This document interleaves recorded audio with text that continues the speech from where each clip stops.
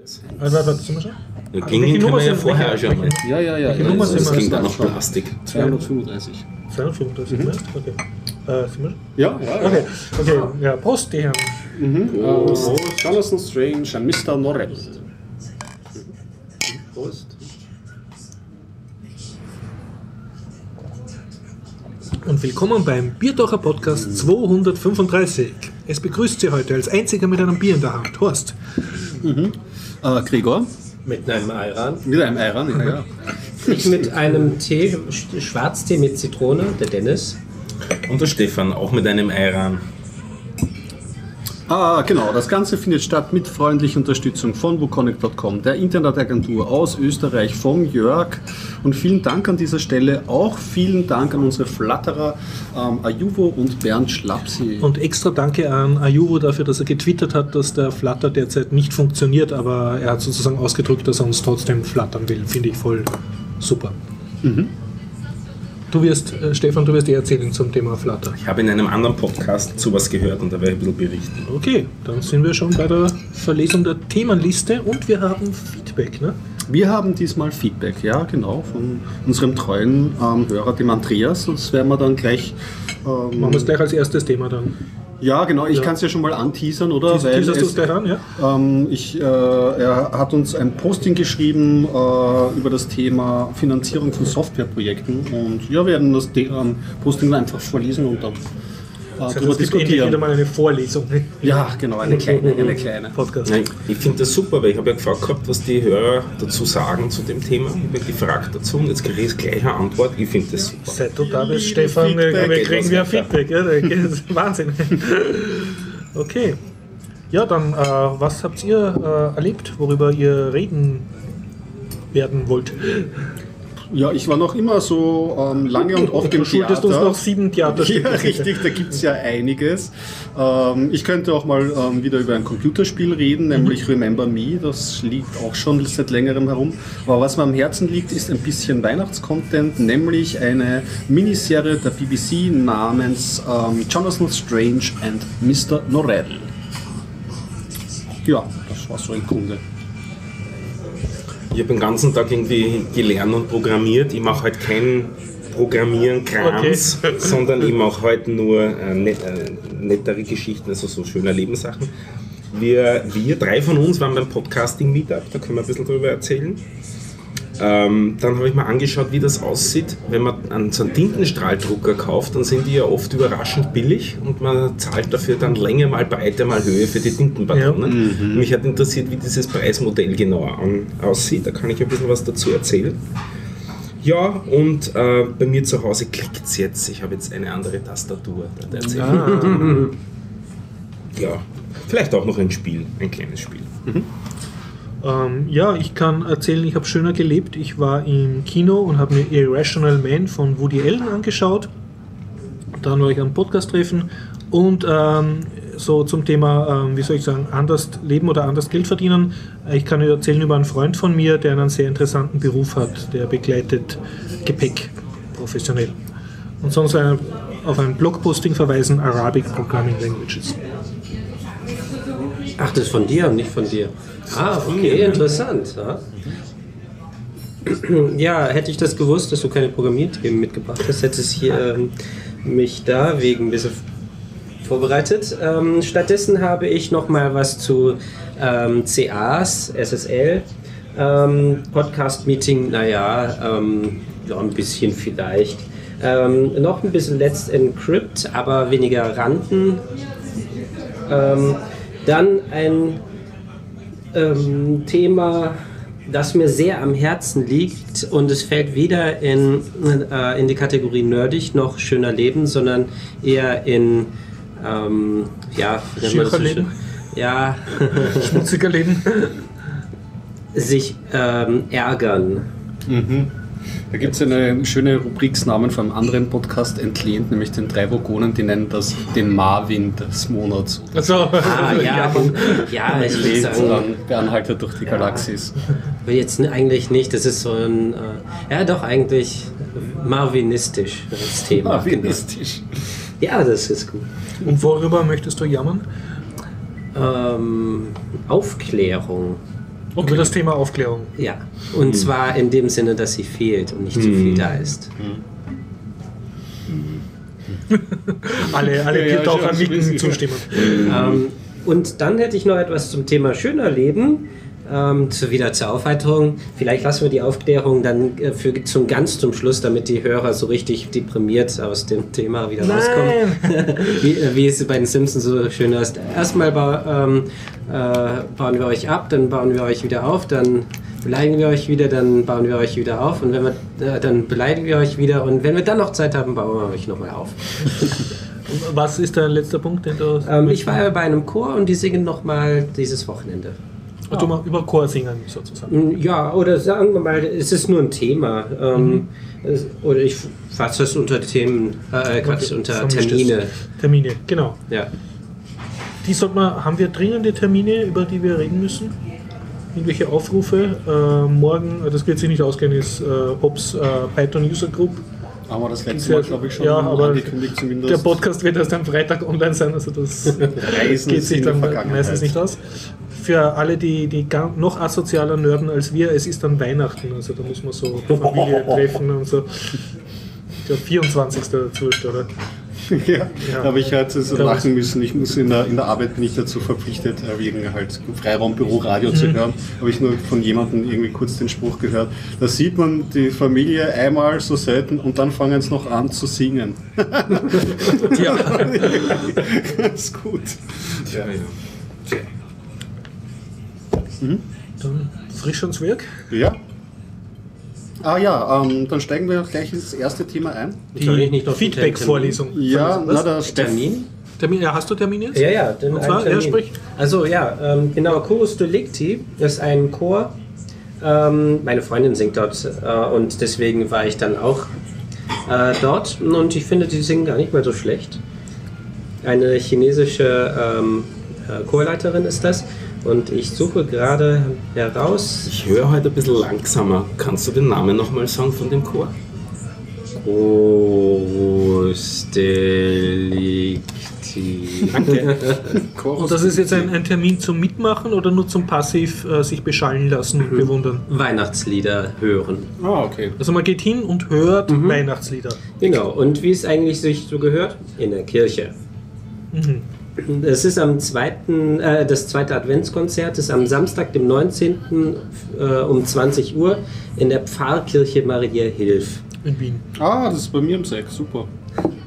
Und am 20. Dezember zusätzlich noch, aber nur ein kürzeres Stückchen, in der Otto-Wagner-Kirche im 14. Baumgartnerhöhe. Oh, Ah. die ist schön. Ja, die ist echt schön. Die ist eigentlich ein Bist du so Ausdruck lieb wert. und trägst es in die Shownotes dann ein? Ja. Super. Mit Link auf deren Homepage. Cool, Das ist super cool. Ja, der Stefan hatte das Thema aufgebracht, ähm, die Finanzierung von Open Source Projekten und ein Hörer hat uns dann, nämlich der Nämlich Andreas. nicht irgendein Hörer, sondern der Andreas Zeiser. Der Andreas, ich hab Sorry. Nachnamen. Ähm, genau, und der hat uns geschrieben, Ahoi Leute, ähm, ich, die ersten, aber ich hoffe, ich bin richtig hier, da ich beim Podcast ein wenig hinten bin. Ich wollte mich zu den möglichen Finanzierungsmodellen von freier Software äußern.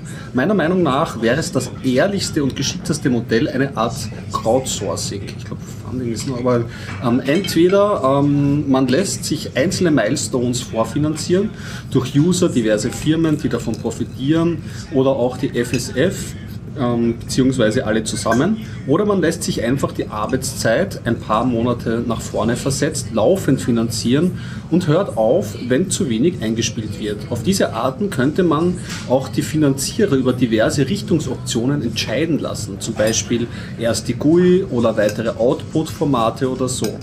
Diese Art der Finanzierung würde das Problem verhindern, dass die Entwickler nicht für ihre Arbeit bezahlt werden, sondern für ihr Produkt, was sicher auch ein Grund ist, wieso das Finanzierungsproblem überhaupt besteht und auch für DRM Mist.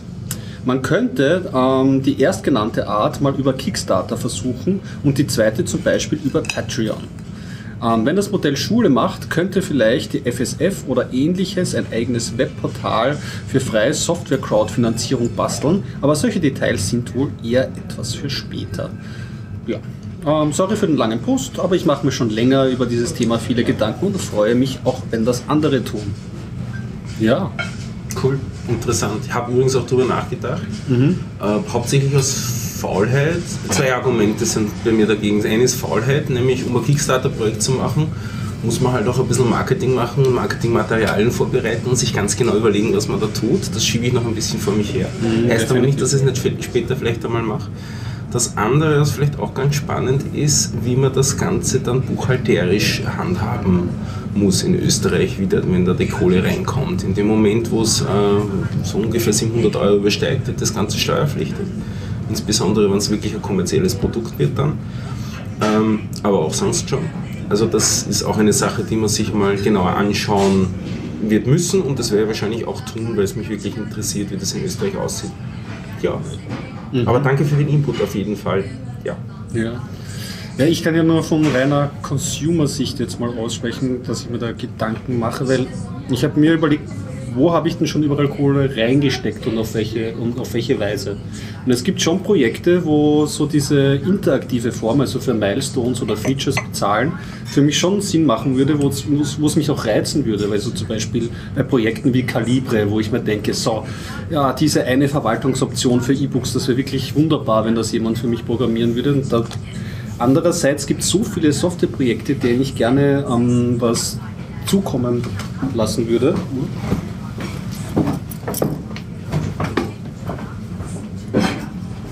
Genau. Den ich gerne was äh, zukommen lassen würde, wo ich mir diese Gedanken aber auch gar nicht ähm, machen würde wollen. Einfach, ähm, ja, weil ich da auch keine Idee habe, äh, in welche Richtung es gehen sollte, was da so wirklich sinnvoll wäre. Und ähm,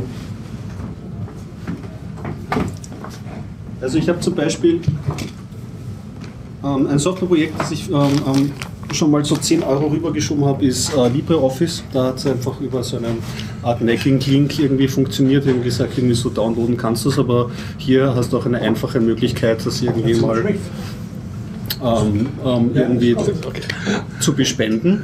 Und, ähm, und weitere Projekte, ähm, wo, wo ich so auf, auf einen längeren Zeitplan ähm, hingescholten habe, aber das ist dann halt für einen Programmierer sch ähm, schwierig, wahrscheinlich genug Geld zu lukrieren, ist, war bei mir wirklich auch Flutter. Also wo ich Also, du hast über das Softwareprojekte geflattert. Ja, genau. Ja. Zum Beispiel WinSCP, das ist so ein, ein, ein Ja. SSH-Copy-Programm unter Windows, was ich Mhm. oft benutze, oder, oder andere, äh, auch, auch Linux-Programme. Und, und das fand ich eigentlich auch, auch, auch ganz sinnvoll. Ja, wie gesagt, das sind so meine Gedanken von der, von der Finanzierungsanreizsituation her. Was ich jetzt merke, es haben immer mehr Projekte jetzt einen Patreon-Button. So, Dieses so, so ein bisschen wie, also auch, das, auch öfter, Biertaucher, seit zwei oder drei Folgen funktioniert er jetzt. Mhm. Also wer uns sozusagen regelmäßig da, so wie Flutter, aber halt ohne Flutter, be, be monetieren, beschenken will, kann Mhm. diesen Patreon-Button auch Und ich glaube, nutzen. das nachdem funktioniert. das ja eher unbekannter ist, vielleicht erklärt sie noch, was der Unterschied zu Twitter ist für denjenigen, der da unterstützt. Also Flutter, Flutter. so genau. Flutter ist. Es sind zwei verschiedene Firmen. Was Ja. ich kapiert habe, ist äh, Flutter europäisch aus Schweden und Mhm. äh, benimmt deshalb standardmäßig Euros.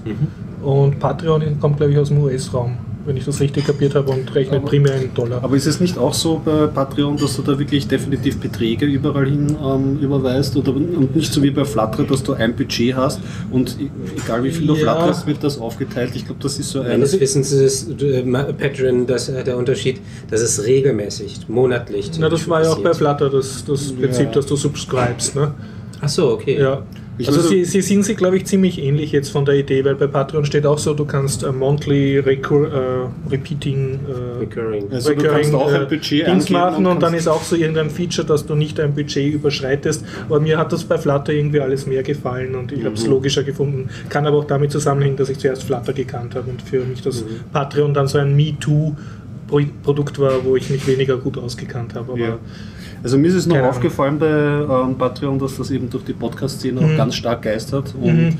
ähm, für die gibt Den es dann halt auch so Anreize, dass du irgendwie so ähm, für Podcaster, dass du auch so Ziele steckst und Ja. den Leuten dann Stimmt, gewisse ja, so, erreichte ja, ja. Ziele dann So irgendwie Mini-Kickstarter praktisch. genau Content oder Goodies oder was auch immer anbietest. Meine, man muss dazu sagen, eigentlich sind das ja alles äh, Firmen, die jetzt mit etwas mitschneiden, was ja die Finanzwirtschaft an sich anbieten sollte, nämlich eine regelmäßige Mikroüberweisung, was man sich eigentlich erwartet, dass es, das Bankinstitut das anbietet in Form eines Dauerauftrags. Aber leider sind da die, die Kosten so hoch und, und äh, dass du, du kannst eigentlich keine geringeren Daueraufträge machen mit, äh, mit Maximallimit. Äh.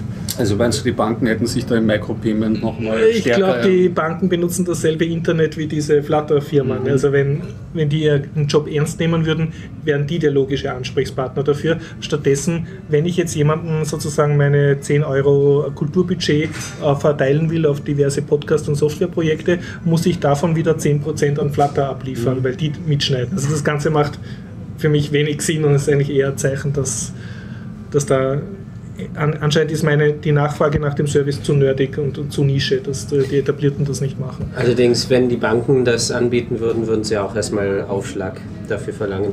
Weil, Wir schauen, aber der wäre wahrscheinlich immer noch billiger als, als so wie es jetzt läuft. Ähm, Überweisungen sind ja derzeit kostenlos, zumindest in der EU für Österreicher. Aber wenn man sich überlegt, ähm, vor ein paar Jahren gab es das Gesetz noch nicht, dass eine Überweisung am nächsten Tag am Zielkonto sein muss. Zumindest innerhalb Der, von das hat drei Österreich. Banktage gedauert. Ich Richtig. kann mich gut erinnern. Und, äh, ein Banktag ist nicht ein Tag. Ein Banktag, das ist je nach Feiertag und Lust und Laune, Ja. das Es kann gibt- durchaus eine Woche sein. Ich glaube, 300 Bankentage gibt es pro Jahr, Mhm. aber 365 echte Tage. Uh, ein Oh, weiterer ja. warmer Dankeschön. Vorschlag. Ja. Hat der von dir gesehen und wollte um ist. Aha, interessant. Äh, ein Tee noch bitte. Ja, geht. Und Stefan schaut sehr glücklich aus. Er ein Vorspeisenteller von gehabt. Hm, Der schaut super aus. okay, dann unterbreche ich kurz meine Rede. Ich, ich fürchte, du musst jetzt viel Sage- reden, weil wir dann alle kauen. Ja. Der Vorspeisenteller, ich hatte Befürchtung, da ist Melanzani drauf, das wird mir nicht schmecken, aber inzwischen finde ich, das war gut. Und diese ausgebachene Kugel ist praktisch eine Melanzani. Ja, da sind äh, und noch eine Flüssigkeit, äh, eine Creme drin, die ein bisschen käsig, quarkig schmeckt. So, gibt es auch ein Foto. Bitte in die Chance. Ja, äh, Soll ich mal einen Pausenfüller machen? mach, mach du mal. Wollt- Oder, Oder? Ja, Ja, wir mach wollten ihn nicht. Genau. Ähm, wo waren wir eigentlich? Wo war ich Beim eigentlich? Bezahlen? Bezahlen, Patreon Ach so, gen genau. Banken äh, sind hingegangen und haben sich gedacht, hm, das wäre doch eine tolle Einnahmequelle, wenn wir sagen, eine Überweisung dauert drei Tage und wer schneller haben möchte, muss zahlen. Wie sieht das überhaupt bei der Bank aus? Für die Bank hatte es nur Nachteile, dass äh, eine Überweisung äh, länger dauerte, weil die mussten extra dafür Server bereitstellen, die die Überweisung verzögert hat um drei Tage. Das heißt also, die sofortigen Überweisungen waren für die Banken lukrativ. Nicht nur in dem Sinne, dass, man, dass sie dafür Geld bekommen haben von dem, der überwiesen hat, sondern sie brauchten dafür nicht ihre Infrastruktur eigentlich zu erweitern oder zu verwenden. Also da, das ist pur, pur Schwachsinn eigentlich. Auf, auf, so, ja, in so many ways wrong, so sozusagen, dieses drei Tage. Extra einen Server, um die Überweisung zu äh, verzögern. Und ähm, jetzt kostet, äh, Fla- ich weiß nicht, wie viel Flutter nimmt und Kickstarter und so weiter, das beläuft sich so sind zwischen jetzt 10 Prozent. 7 und 20 Prozent, je nachdem welche Plattform. Sagen wir einfach mal zwischen 5 und 30 Prozent. Du musst aber noch mehr einrechnen. Bei Flutter zum Beispiel, du kannst jetzt zwar mittlerweile über europäisches Konto, glaube ich, äh, direkt hin tun, aber bei vielen anderen hast du nur PayPal als Zahloption Ja. oder deine Kreditkarte, wo ja wiederum Spesen anfallen. Die müsstest du ja auch einrechnen. Also bei allen diesen Mikroüberweisungen, wo du sowieso nur ein paar Cent überweisen willst, schneiden dann noch mit das Mikroüberweisungs-Software-Plattform-System und die diversen Zahlungsprovider, weil alles Ja. nur, weil deine Bank das nicht auf die Reihe kriegt. Ja, jetzt äh, komme ich aber mal zur Bank. Wenn die Bank das anbieten Ja. würde, die möchten nur dafür natürlich dann auch Geld sehen. Mikrotransaktionen, gut und schön.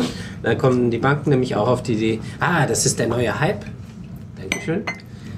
Ähm, und verlangen dafür Geld. Und siehe da, was machen gerade die deutschen Banken? Sie haben PayDirect. Ähm, Mikrotransaktionen, schnelle Überweisungen mit E-Mail und so weiter, also Konkurrenz für PayPal.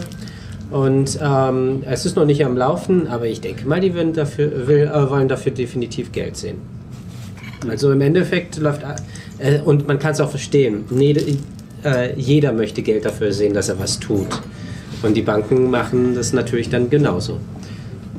Also mit Transaktionen, egal welche, auch Banken. Dem das Banken, sobald meine Drohne fliegt, werde ich dann so kleine Centbeträge per Drohne herumschicken und Ja, und herumregnen lassen. aber trotzdem zahlst du nicht nur den Centbetrag, sondern die Drohne braucht auch Strom. Die fliegt solar gepowered. Oder vielleicht dann Okay. doch Bitcoins für solche Sachen. Genau, ja, Bitcoins. Selbst dort zahlt man Transaktionsgebühren. Ist freiwillig, du kannst auch ohne Transaktionsgebühren Ja. überweisen. Ähm, Dauert's länger. Das dauert länger, Ja, genau. Ist, ist okay. Aber es ist in einem minimalen Vergleich. Ne? Ja, das ist wesentlich günstiger. Mhm. Und äh, trotzdem äh, der ganze Strom, der dafür drauf geht. Also überall gibt es trotzdem noch irgendwelche Gebühren. Manchmal. ist- Also das Problem, das ich bei Bitcoin habe, ist nur, dass nur sehr wenige das akzeptieren. Also Ja. meistens eher größere, aber meistens so kleine Blogger und kleine Softwareentwickler Mhm. haben einfach keine Bitcoin-Adresse, obwohl es sie technisch absolut nichts kosten würde, die drauf zu tun. Mhm. Ja. Ja, also die kennen es nicht und was der Bauer nicht kennt, frisst er nicht. Und äh, was ich zu ähm, Crowdfunding und Software auch noch sagen wollte ist, ähm, solange die essen, ähm, es gibt ja GNU-PG und ähm, GNU-PG wird entwickelt von, äh, wie heißt nochmal, Werner Koch, glaube ich, heißt er. Und äh, der hat einmal gejammert, oder habe ich das letzte Woche schon erzählt oder vor zwei Wochen? Der hat gejammert, dass ähm, kein Geld reinkommt und dann hat er ähm, Crowdfunding-Aktionen gestartet und hat ziemlich viel Geld bekommen. Also sogar im Nachhinein. Und was Fefe dazu geschrieben hat, eine Finanzierung im Nachhinein durch Jammern ist, äh, findet er nicht gut, sondern von Anfang an einen Plan haben, äh, wie man es finanziert. Also fangt keine Software an zu entwickeln, wenn ihr davon leben müsst, wenn ihr nicht wisst, wie ihr das Geld bekommt. Wenn ihr sowieso schon einen Job mach, habt und das im Prinzip äh, die Software für euch entwickelt, braucht ihr keinen Finanzierungsplan. Ähm, da könnt ihr machen, was ihr wollt. Aber wenn ihr davon leben wollt, dann überlegt euch ganz genau, wie ihr euch finanzieren wollt. Also ich finde Jammern im Nachhinein ist durchaus auch okay, weil der Programmierer hat ja die Leistung erbracht. Nicht? Wenn er sich dafür was wünscht, finde ich das auch okay. Also Ja. Ich muss Ja, dem auch zustimmen. Ich finde, es ist fand ich besser, du machst eine Vorleistung und sollst Ja. dann sagen, du hättest gerne Geld. Also du tust erst einmal groß über die Finanzierung nachdenken, sonst mache ich überhaupt nichts. Mhm. Wenn, wir, wenn alle so denken würden, gäbe es keine freie Software, weil niemand was tun würde. Natürlich, aber wenn, äh, der, wenn der Koch, also GNU-PG, der Typ, der hat halt äh, im Nachhinein gejammert, ja, es gibt ihm so schlecht und ich bekomme gern Geld rein dafür, die Leute spenden nichts und so weiter. Ähm, Es und gibt auch er hat so sich keine Gedanken drüber gemacht vorher. und Das gibt es ja auch. PG ist ja auch kein, kein, kein Projekt von gestern. Ja, es ist, Ja. es ist dann natürlich dann schwierig abzuwägen. Hm. Ähm, abschließend wird man noch vielleicht, das haben wir nämlich noch gar nicht erwähnt, bei Flutter, Totgesagte leben länger. Da wird ja gemunkelt, dass das war ja ein bisschen schwierig und wir waren ein bisschen so im, im Loch und im Eck und ein bisschen still ist es um das Projekt geworden. Seit, zwei, seit einer Woche funktioniert dein Bettbutton nicht. aber bei, ähm, über, über die Freakshow, Team Brit Love versorgt einem da ja immer wieder so mit ein bisschen Neuigkeiten. Und man kann es jetzt auch schon sehen, ähm, sie haben eine neue Webseite gelauncht und anscheinend kann man da schon direkt seine Bankverbindung ohne Skrill und Drittprovider ähm, eingeben. Und schauen wir mal, ähm, was daraus wird. Also jetzt ist mal, es ist wirklich noch nicht benutzbar, weil ich sehe nicht, was ich flatter. Oh ja, ich sehe sogar, was ich flattere, aber nicht irgendwie so das Flatter-Angebot. So früher hat es einen Katalog gegeben, so was ich flattern könnte oder so. Oder was, was, was Dinge sind von mir, die ähm, oder wer mich flattert und so. Das kann man alles noch nicht sehen. Aber mal abwarten, vielleicht können wir so in der nächsten, übernächsten Folge schon mal was drüber sagen. Schon seltsam, dass die erst die Seite stilllegen, dann äh, nach und nach eine neue launchen, statt ähm, eine zu launchen, die fix und fertig ist. Das ist irgendwie keine gute Werbung für Flutter gerade. Ja, Kann man sagen, ja. kann man sagen. Also keine gute Politik. Drücke ihnen trotzdem noch die Daumen irgendwie. Ja. Also laut Love ist Flutter nicht tot. Es Ja. ist, wird nur umgebaut. Ja. Und er macht sich auch keine ernsthaften Sorgen darüber. Und Er lebt ja von Flutter, ne? Er ist einer der wenigen, die davon leben können. Ich glaube, der Holger Klein vielleicht auch noch. Also in Deutschland. In, Mhm. Ja, eigentlich wahrscheinlich Der überhaupt. deutsche die- Markt ist der größte von ganz Europa. Ja, naja, bei, bei Flutter zumindest. Weißt, in Amerika ist es nicht so irgendwie, mein Podcast in Amerika haben andere Finanzierungs- und äh, Geldvolumen, aber nicht über Flutter natürlich, stimmt. Die haben beide auch andere Projekte, von denen sie leben, aber sie be- bestreiten einen Teil des Unterhalts. Ja, die haben mehrere Standfüße. Ja. Soll ich mal kurz ein Theaterstück einstreuen? Ha? Das haben wir doch. Ähm, ich war, das war das erste, das muss ich nämlich erzählen, weil das liegt am längsten her und da verschwimmen schon meine Erinnerungen. Ähm, Im Akademietheater, Toy Story 3, nein, to, ähm, Leonid äh, Nikolajewitsch Tolstoi ähm, hat ein Stück geschrieben namens Macht der Finsternis. Das ist ähm, 1886 hat er das ähm, herausgebracht. So lange schiebst du schon vor dir her. Ja, ganz schön lange. Ja. Ich war bei der Premiere natürlich. Und ähm, ist ein Theaterstück, das, ähm, wie so einige Theaterstücke, hat sich da ähm, Tolstoi von einem ähm, vorhandenen Gerichtsfall inspirieren lassen. Das kennt man ja, zum Beispiel die Gretchenfigur bei ähm, Faust ähm, von Goethe ist auch von einem Gerichtsfall ähm, inspiriert. Und äh, vorweg kann ich mal sagen, mir hat die Inszenierung sehr, sehr gut gefallen. Das war ja schon, das war so mein Einstieg wieder ins Theater gehen und das war sehr stimmungsvoll. Zweitens mag ich das Akademietheater, kann man in dieser ähm, Stelle immer wieder sagen, weil es ist ein sehr kleines, intimes Theater man kann falsch, also wenn man nicht direkt hinter den Scheinwerfern sitzt, hat man eigentlich von überall aus einen guten Blick auf die Bühne. Verwechsel ich da was oder ist das Akademietheater nicht von, bespielt vom Ensemble vom Burgtheater? Sind das nicht dieselben Schauspieler? Das ist doch das beim Eislaufplatz da. Ja, genau. Wiener. Ich, du, du, Ja. So ein Theaterfuchs Mhm. bin ich nicht. Ich, kann, kann sein, dass es da Ja. Überschneidungen gibt. Aber ich, mir ist schon aufgefallen, weil ich glaube, ein Stück ähm, habe ich am Akademietheater gespielt, was sie auch im Burgtheater spielen. Also auf jeden Fall sind die miteinander verbunden. Ähm, kurz die Handlung abgerissen. Es geht um einen Bauern, ähm, der schon relativ alt ist, krank ist, der mit seiner Frau auf dem Hof lebt. Ähm, ein Neffe von ihm ist so der Knecht, der so die größten Arbeiten eigentlich, auf den, wenn er nicht gerade auf der faulen Haut liegt, ähm, vollführt. Und ähm, hin und wieder kommen auch sein Bruder und dessen Frau ihn besuchen. Und äh, ja, ähm, wie war denn das? Äh, noch schnell. Genau, er ist alt und krank und der Neffe hat schon eine Affäre. Hat schon mit der. Hat schon eine, oh ja, ich bin ein bisschen aus der, aus der Ding. Hat eine ähm, Affäre mit der Frau vom ähm, alten Bauern. Okay, der was im Sterben liegt, oder? Genau, nicht im Sterben, er ist schon relativ krank. Genau. Mhm. Ähm, das Geld. Das heißt, die Frau ist wesentlich jünger als der Bauer, damit sich das mit der Affäre ausgeht. Richtig, richtig, richtig. Ja, ähm, die, er hat auch mit der, mit der Frau irgendwie noch Töchter, ja. Mhm. Und ähm, die Frau von diesem Bauern bekommt durch die ähm, Frau des Bruders dieses Bauerns den Tipp, sie könnte doch ähm, ihrem Mann etwas Gift verabreichen. Dass er schneller stirbt. Richtig, und dass sie an das Geld rankommen. Ja? Erbschaftsbeschleuniger. Ja, ja, das ist dann natürlich eine Intrige, die wird auch kurzerhand in, in, die, in, in Tat umgesetzt und der Bauer stirbt auch. Ähm, der Neffe ähm, ähm, bekommt allerdings ähm, den Rat von seiner Mutter, das Geld zu verstecken und nicht mit der Frau zu teilen, ähm, was der wiederum ähm, in die Tat umsetzt. Und außerdem ähm, kommt er auch drauf, eigentlich gefällt ihm die Tochter der, des Bauern viel besser als dessen Frau. Ist er mit der nicht verwandt irgendwie? Er ist der Neffe, also er ist der Neffe des Bauerns und das ist die Tochter des Bauerns. Das müsste dann eine Dann seine Cousine Nichte. sein. Wie auch immer. Ich, ich rieche so ein bisschen eine ziemlich Ja, enge ja, Verwandtschaft. du, du, da ist auf jeden Fall Mhm. ähm, das natürlich auch, auch drinnen. Ähm, und das ganze Drama ähm, entspinnt sich dann. Er Mhm. hatte dann, er hat dann auch ein Kind ähm, eben mit der Tochter des Bauern. Und ähm, ganz, am, ganz am Ende kommt es noch zu einer schrecklichen Tat, da will ich nichts ähm, voraus, vora- vor, vor, vorwegnehmen. Und es ist eigentlich ein, ein, ein wirklich äh, düsteres, tragisches Drama, was irgendwie so Macht der Finsternis, so schon auch ähm, was irgendwie die Geldgier anrichten kann, in Kombination mit der Einfachheit des Milieus, beziehungsweise ja genau der, der, auch der Tristesse des, des, dieses ländlichen Lebens, Mhm. das die dort führen. Ja.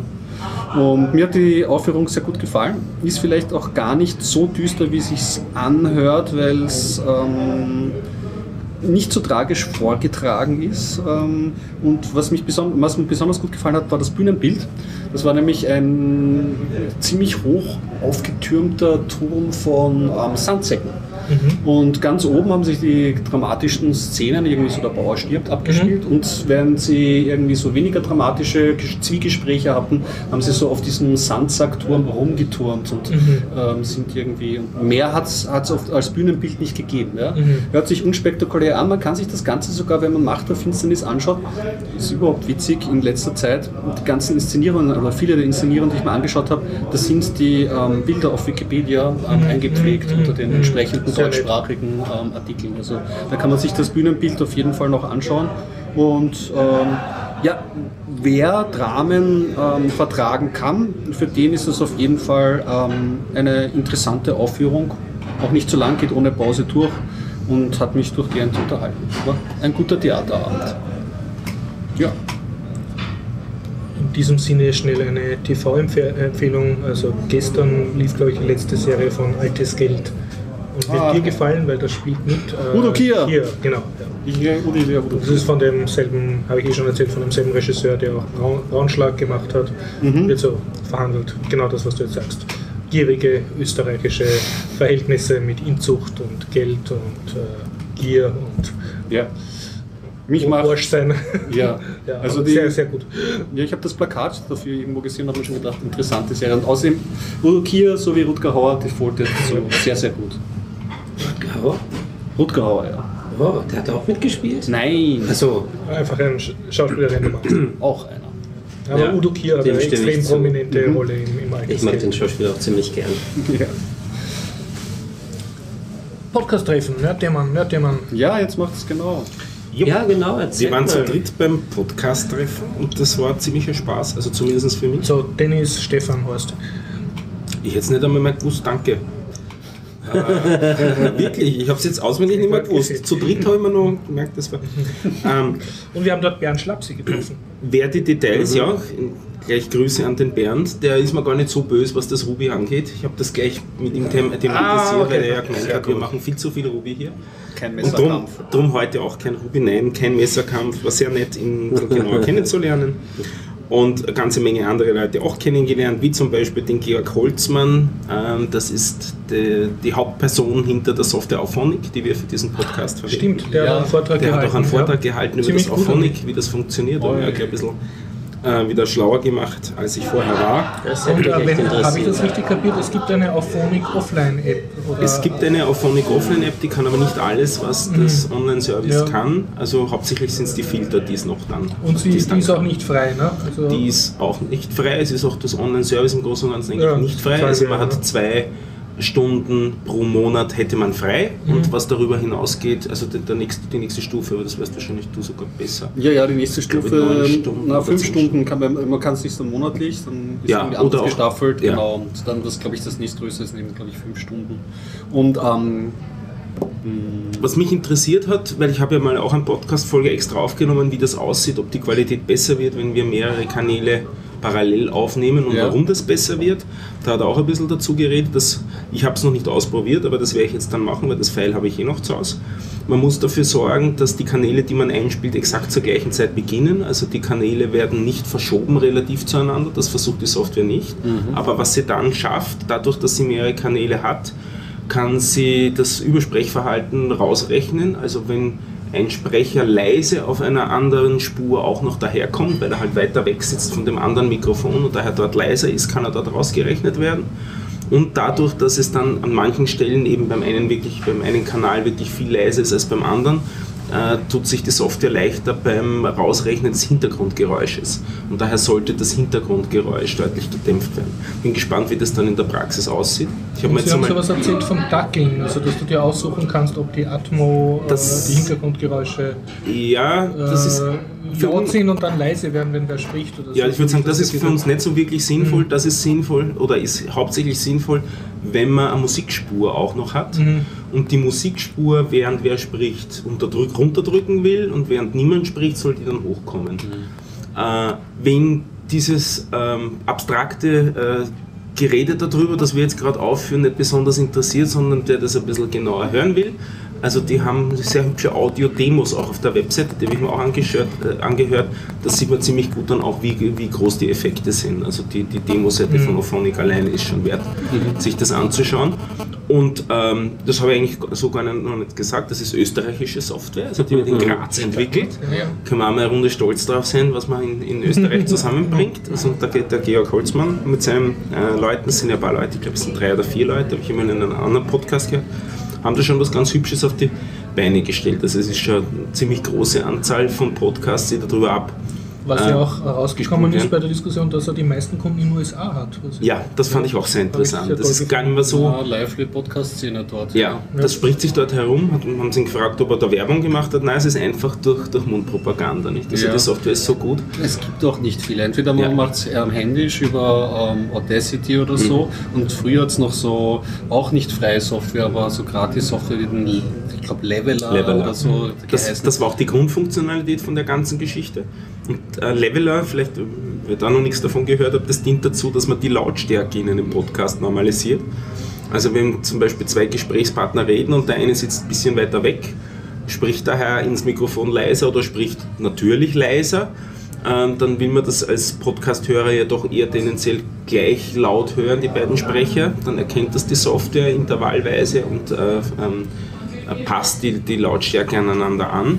Es ist aber nicht so, dass wenn Musik eingespielt wird, dass er dann alles gleich laut macht, was ja furchtbar wäre, weil Musik sollte ja gewisse Dynamik äh, enthalten, sonst wird die ja kaputt durch den, durch den Leveler. Und das war so das erste Service, das sie angeboten haben. Das ist wirklich interessant. Man kann innerhalb von ähm, einem Bruchteil einer Sekunde heutzutage erkennen, ob etwas gesprochen ist oder Musik ist. Meine Freundin schreibt dazu nämlich eine Arbeit ähm, und hat dazu auch Software entwickelt. Nur zu erkennen, ist es gesprochen oder Musik und danach dann das Levels anzupassen. Das ist auf jeden Fall eine spannende Sache. Schade, dass ich es verpasst habe. Ja. Ähm, eine Anmerkung noch, nämlich äh, es gibt eben dieses Service, dieses Online-Service und sie haben auch diesen Offline-Client, Offline, ist man offline, Auphonic. Genau, bei Auphonic, ja. Und leider haben sie dieses Off, ähm, Offline-Programm, ähm, gibt es leider nicht für Linux. Ah. Das ist die eine Sache, aber da wollte ich ihn eh schon mal, da werde ich einfach mal ihn anschreiben und, und fragen, ob sie das eventuell in, in Planung haben. Sie haben es in Planung. Ich habe ein bisschen mit ihm darüber geredet, aber sie haben noch nicht wirklich so die Lösung. Ähm, wir sind zufällig ins, ins, Gespräch, ins Gespräch gekommen, weil es äh, mich zurzeit das Thema auch, äh, das, das Cross-Plattform-Entwickeln einfach interessiert. Und das ist, die Geschichte ist halt nicht ganz so einfach, was wirklich Cross-Plattform auf die Reihe zu kriegen. Ich habe ihm einen Impuls gegeben, ich weiß nicht, ob er nützt. Ich kann mir das eigentlich nicht ganz vorstellen, weil ich glaube, sie entwickeln auf einer ganz anderen Schiene. Ich hoffe, es Ähm, ist nicht Java. Ähm, nein, das ist es nicht. Ähm, aber nichtsdestotrotz, glaube ich, wird er nicht so weiter vorgehen, weil was ich gesehen habe, schreiben die, glaube ich, in C, die Sachen. Das Und das ja möglich sein. da sollte das Bo- Portieren eigentlich an und für sich leichter sein. Bis aber der kommt halt einfach nicht aus der Linux-Welt, soweit ich gesehen habe. Ja. Und der Bedarf an Linux-Desktop-Clients wird halt einfach deutlich geringer sein, weil die meisten Audio-Podcaster haben halt ihre Macs zu Hause rumstehen. Das ist halt leider so. Er soll es einfach nur als Command-Line-Tool die GUI dazu braucht oder nicht zu entwickeln. Das kann er wieder anderen überlassen. Ja, ja. Einfach nur Input, Output, fertig. Stimmt, würde vollkommen reichen. Ja. Ähm, das ist das eine interessante Thema. Das fast noch interessantere Thema ist äh, das Thema zum Podlove Workshop. Da muss ich auch vielleicht wieder kurz ausholen. In Deutschland gibt es ja diesen Tim Brittlaff und der hat mit einem Softwareentwickler äh, zusammen eine Lösung entwickelt, um Podcasts zu publizieren. Das ist der Podlove Publisher. Das ist ein Add-on für WordPress, damit man eben Podcasts ohne großes technisches Know-how mit Hilfe eines äh, eine, auf einer WordPress-Plattform veröffentlichen kann. Mit Shownotes, mit Timestamps, mit einem Player und so weiter.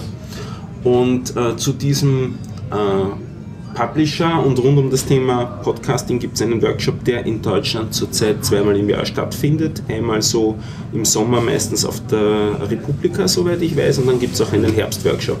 Und dieser Herbstworkshop war bisher in Berlin und man hat aber Interesse daran, dann vielleicht einmal auch aus Berlin rauszugehen. Und jetzt ist die. Potsdam. Äh, Jetzt ist die Idee geboren worden, das vielleicht auch in Österreich, sprich in Wien, zu machen. Äh, alternativer Ort, über den man auch ein bisschen gesprochen hat, war Salzburg, was ja für uns auch nicht allzu weit weg wäre. Und vielleicht für die Süddeutschen, sprich Münchner und die Umgebung noch interessanter wäre, so dass der Einzugsbereich noch größer ist. Also da ist man zurzeit ein bisschen dabei zu überlegen, welche Räumlichkeiten hat man, welche Finanzierungsmöglichkeiten hat man. Also es wurde auch darüber diskutiert, ob man sowas nicht sponsern lassen kann. Also eine, ISPA könnte da ein Kandidat dafür sein und so. Also das, das wird man sich anschauen, äh, ob man so einen Workshop auch bei uns in die Gegend kriegt. Und wenn, dann werden wir sicher darüber berichten. Jo. Ja. Was mir gefallen hat am Podcast-Treffen war der Vortrag von der Dame, nicht von der Melanie Bartusch, sondern von der anderen Dame. Von der Ines Häufler. genau. Und Der die von hat, Melanie Bartosch hat also nicht gefallen.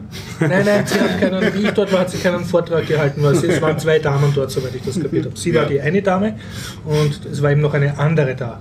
Und die hat geredet über ein Filmprojekt, das sie machen will, oder über ein Podcast-Projekt, Ein das sie machen. Sie ist, Podcast-Projekt. ja, aber sie kommt aus der Filmseite Ja, aus- irgendwie, Ja. soweit ich das kapiert habe. Und äh, ja, das hat interessant geklungen. Also sie wollte so ein, kannst du erklären? Ja, pro, pro Podcast-Folge würde sie gerne ein Museumsobjekt aus einem ostösterreichischen Museum, das einen interessanten Hintergrund hat, erzählen. Story. Eine Story. Sie ist also hauptsächlich eine Storytellerin. Also sie macht auch äh, eben für Firmen Marketingauftritt, wo es eben auch um Geschichten geht. Und als Beispiel hat sie genannt, im Naturhistorischen Museum Den Haifisch. hängt ein Haifisch, der angeblich noch einen Seemannsstiefel Stiefel drinnen im, im, in seinem ausgestopften Körper drinnen hat und die Geschichte dahinter halt so Schön. äh, veröffentlichen, weil angeblich ist der überhaupt total schlecht äh, präpariert, wenn man zu der Zeit, wo man den äh, gekriegt hat, wo der Präparator den gekriegt hat, da halt in Österreich nicht gewusst hat, wie ein Haifisch wirklich ausschaut und dann haben sie ihn halt nicht ganz so ausgestopft wie original. Halt schaut man auf der Wikipedia nach und hat sowas nicht. Schöne Geschichte, ja. Und solche Geschichten halt wird sie gerne im Podcast-Format verpacken und da überlegt sie einerseits auch wieder das Thema Finanzierung steckt dahinter, das Thema Organisation, äh, das Thema Technik, also da gibt es eine ganze Menge Themen, die man abklären muss und ähm, ja, wer Interesse daran hat, ist am besten mit ihr in Kontakt treten. Ja. Aber sie hat Gerade extrem, das haben wir gedacht, äh, das hätte ihr gefallen, extrem diesen narrativen Zugang. Also sie Ja, ja, das wird haben. und gerade so ähm, Museen ähm, zugänglicher zu machen, mit Hilfe von eben Podcasts oder anderen ähm, ähm, ähm, Technologien, also kann man auch das Stichwort Open Data oder so reingeben, äh, kann bereichernd sein, ist irrsinnig spannend und ich drücke die Daumen, dass sie da vielleicht auch Kontakte mit den einzelnen Museen knüpfen kann und vielleicht sich dort auch vielleicht ein bisschen ähm, Geld holen kann. Ihr Twitter-Handle ist Ines Häufler in einem Wort geschrieben und das Häufler ist H-A-E-U. Also der Zwielaut ist aufgetrennt in A-E-U. Okay. Ja, das war auch ganz interessant. Der Vortrag, den du angesprochen hast von der Melanie Bartosch, war gar nicht so sehr ein Vortrag. Ah, da war das, war, weg. Mhm, das war mehr ein, ein Tease oder ein, ein, äh, ja, ein, ein Herauslocken der Leute in Richtung äh, Diskussion, die dann auch ganz gut funktioniert hat. Was denn so mit der österreichischen Podcasting-Szene passieren soll, was man denn gerne hätte. Ah, okay. Ähm, soll es dieses Meetup überhaupt weitergeben? Was will man denn erreichen? Ähm, wie schaut es eben auch mit dem Thema Technik aus? Welche Vorteile hat Podcasting überhaupt oder ist das Ganze eh keine gute Idee? Soll halt ein bisschen die Leute provozieren. Hat auch zu einer sehr hübschen Diskussion geführt. Ähm, die macht übrigens auch einen ganz interessanten Podcast. Ja, den haben wir schon ein paar Mal empfohlen, aber den kann man auch immer wieder droppen. Das ist von der Universität Innsbruck. Da werden die Wissenschaftler, die lokalen Wissenschaftler interviewt zu ihren jeweiligen Themen und der Podcast heißt, heißt Zeit für Wissenschaft. Ja, kann ich wirklich empfehlen. Da sind ein paar wirklich gute Folgen drin, also hörenswert. Ähm, eine Sache wollte ich noch erzählen. Ja, ähm, zum Thema Veröffentlichen von Podcasts. Da wird es beim nächsten Podcasting Meetup wahrscheinlich einen Vortrag drüber geben mit einer ganz anderen Software, mit ein bisschen einem anderen Konzept. Also nicht ein WordPress-Plugin zu verwenden und damit dann WordPress aufzu anzureichern, um eine Funktionalität, die Podcasts handeln kann, sondern eher so den, den Low-Tech-Anspruch äh, oder einen Weg zu gehen, was zumindest das Web-Hosting angeht, also dass man nur statische Seiten hat, wo dann die äh, Podcast-Episoden eingebunden sind und eben auch mit hochgeladen sind. Und das ist Da haben wir ein bisschen geredet über das ähm, Projekt FIRZ, wobei ganz so ähm, ähm, ohne Anspruch geht es auch nicht. Also man braucht zumindest einen PHP-fähigen Webserver, aber da, äh, die, die Leute, die die Podcasts sich anhören und die Webseiten ansurfen, die verwenden das PHP schon nicht mehr. Also das PHP-Skript. Das wird für einen Upload verwendet und erzeugt dann äh, on the fly statische Webseiten, die am Webserver abgelegt werden. Aber so ganz aus der Sicherheitsproblematik kommt man damit noch nicht raus. Also man muss sich dann zumindest um die Konfiguration kümmern, dass da nichts Böses passiert. Und äh, ein paar Leute haben sich äh, bereit erklärt, sich ein bisschen zu umzuschauen, was es denn sonst so an Lösungen gibt, was statische Seiten und Podcasting angeht. Jo, Und sag, warst du da dabei? Ich habe gehört, der Herr Dennis hat da einen Vortrag gehabt. da kann ich mich überhaupt nicht dran erinnern. Was? Ich habe einen Vortrag gehalten. Nur ein Lightning Talk ähm, über das Plugin, was im Biertaucher-Podcast auch schon verwendet wird. Äh, Vorsicht, wir sind nicht ein Plugin, wir sind nur ein JavaScript. äh, kann man auch als Plugin. Nein, nein, nein, bei DokuWiki Ja. gibt es eigene Plugins, die sind aber wieder in PHP geschrieben. Ja, ja, ich war jetzt nur ein Plugin in Anführungszeichen für HTML. Also ähm, ist ja im Prinzip nur ein Codeschnipsel und noch ein Codeschnipsel und unten die Auflistung, dass das äh, mit den Zeiten anklickbar wird und angezeigt wird, was man gerade hört.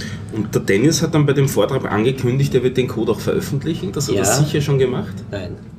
Ja, Aber indirekt, weil er ja auf den Biertaucher Seiten öffentlich. Ja, aber ja, das man kann auch skriptieren, formal aber es mit- ist Dokumentation. noch. Ja. Ja.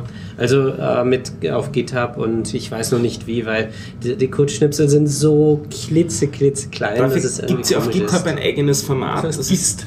Das ist das Gist, also die, die, die, Ja, Kern, das die ist- Quintessenz ja. einer Idee, wo man durchaus einige Dateien hochladen kann Mhm. und auch vielleicht ein Markdown-File, in dem man dann erklärt, wie man die einzelnen Dateien dem Ja. Beispiel verwendet. Das stimmt und ich habe auch schon drüber nachgedacht äh, im Nachhinein, äh, Bower oder wie das heißt, Bauer, Bauer, ähm, zu verwenden, äh, dass man sich damit installieren kann. Aber damit werden die wenigsten Podcaster ähm, konfrontiert sein, weil die, oh Gott, was ist das? Wer jetzt schon nicht weiß, wer es ist, äh, ist für mich nur der Beweis, dass das ähm, zu kompliziert ist und für Podcaster uninteressant.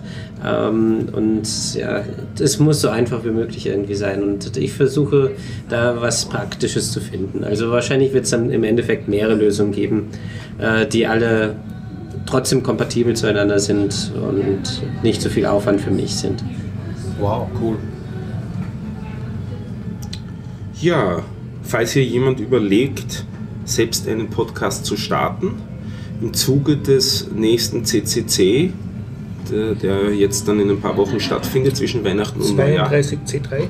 der 32 C3 wird eine neue Initiative gegründet, die Podcast Patinnen, wo man versucht, erfahrene Podcaster und Podcasterinnen zu finden, die äh, Podcast-Anfänger unter ihre Fittiche nehmen und dann versuchen zu helfen. Also ähm, durchaus einmal durch den Kopf gehen lassen, ob man sich nicht mit äh, Hilfestellung es dann doch zutraut, sowas zu starten, weil so wirklich Rocket Science ist es ja nicht. Ich wäre schon gern Pate und irgendwelche dahergelaufenen Jungpodcaster küssen mit uns. Jungpodcaster. Ich gebe so zwei Seiten Warnung. Ja, damals an der 200. Sendung hatte ich gewisse Produktion. Alter Haudegen. Ja, genau. Da hörst Ja. du einfach Biertaucher 177, da reden wir darüber. So viel zum zweiten Podcasting Meetup. Es wird ein drittes geben. Der Termin steht noch nicht fest, aber das findet man auf Über der Meetup. Meetup-Gruppe, wenn man sich dort registriert oder auch im Sendegate wird es veröffentlicht werden, wer das Meetup-Service nicht mag. Okay. Also insgesamt ein zufriedenstellender MetaLab-Abend für dich gewesen. Äh, ja, ja, hat insgesamt hat Spaß gemacht, die ganze Geschichte. Einige neue Leute kennengelernt, einige interessante Persönlichkeiten im MetaLab kennengelernt. Bernd Schlapsi kennengelernt. Bernd Schlapsi kennengelernt. Ach, den kanntest du noch gar Den nicht? kannte ich noch nicht Ah, in Personam, sondern den kannte ich nur ad vocam oder so. Also im Podcast war der ja schon ein paar Mal. Mir ist auf, etwas aufgefallen, dass wir uns schon mal vor einem halben Jahr oder so getroffen haben müssen. Und zwar beim Show and Tell vom Sven Guckes. Ah ja, Sven Guckes Schnitzelessungen im, im Ähm, MetaLab. Ja, da, da Ja, waren wir beide anwesend. Haben uns nicht erkannt als Ja, ja, kann- Tja, Nee, ja, das hat uns Sven kein- zusammengebracht letztendlich. Ja. Aber Sven hat uns zusammengebracht. Ja, hat er natürlich, ja. klar. Aber Bravo, da sind wir uns schon begegnet. Ist mir aufgefallen, als ich äh, so ein paar alte ähm, Titanpad-Sachen rausgesucht habe. Ja, und wir sind uns ja auch begegnet damals beim Stylmann im Kuppelsaal, wo du das. Mit 400 Ah, stimmt. anderen Leuten. Ja, Ja, ich war auch dabei. Wie klein die Nerdblase. Äh, wie ich gehört habe, sollst du das Foto noch gemacht haben, wo ich drauf bin. Wurde mir irgendwie gesagt, dass du die Fotos gemacht hast, oder? Ich habe Fotos gemacht, ja. Ja, ja, Florian genau. Auf da bist du schon drauf, oder, oder bist Auf du einem bist du drauf? oder? Und auf einem muss ich dann mit dabei gewesen sein. Aha. Fotos auf Flickr kann man. Der, Biertaucher Podcast zu. Apropos Treffen. Wahrscheinlich sind wir das nächste Mal nur zu zweit und das wollen wir ja eigentlich gar nicht sein. Es wäre schön, wenn vielleicht noch irgendjemand käme. Und zumindest einer kriegt noch ein, oder eine kriegt ein Heferl. Habe ich noch Du immer hast noch über. ein Heferl übrig. Eins habe ich noch immer, ja. Also nächsten schnapp Dienstag, das sie, ist der sie, schnapp 22. 22. Dezember. Dezember 2015. Letzte Gelegenheit, Biertaucher Podcast mit uns mitzumachen und es gibt ein Heferl vom Stefan. 19.30 Uhr in der Zypresse, Westbahnstraße 35a. Geschirrspülerfest. Das Heferl.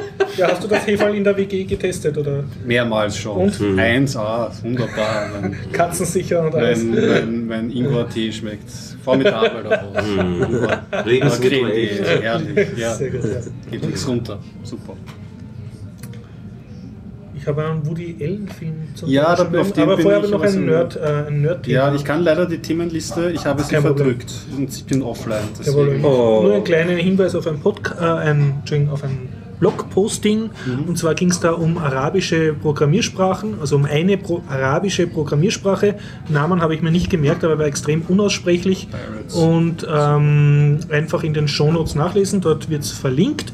Die Quintessenz von dem Blogposting war, es hat irgendeinen libanesischen oder so Studenten gegeben, der sich geärgert hat, dass alle Programmiersprachen auf Englisch sind und dann eine auf Arabisch gemacht hat. Also wo man auch äh, von rechts nach links schreibt und sie ist Turing Complete und halt tut auch arabische Syntax und so halt einarbeiten. Aber die Quintessenz ist, äh, sie ist ein absolutes Inselprojekt, weil wenn du versuchst, sie irgendwie in der realen Internetwelt mit einem realen Internetprotokoll kommunizieren zu lassen, scheitert es schon am Zeichensatz. Und also es ist sozusagen nur in sich selbst funktionsfähig und er, also der, der, die Quintessenz von dem Blogposting war sozusagen, dass die die das Internet erfunden haben, also amerikanische und europäische Wissenschaftler eben dadurch, dass sie äh, Englisch verwendet haben, weil das für sie das leichteste war, haben sie es eben der nicht englischsprachigen Welt schwerer gemacht. Und er, also er sagt, äh, Englisch lernen ist schwierig, wenn du es einmal als Einstiegshürde brauchst, nur um überhaupt programmieren zu können.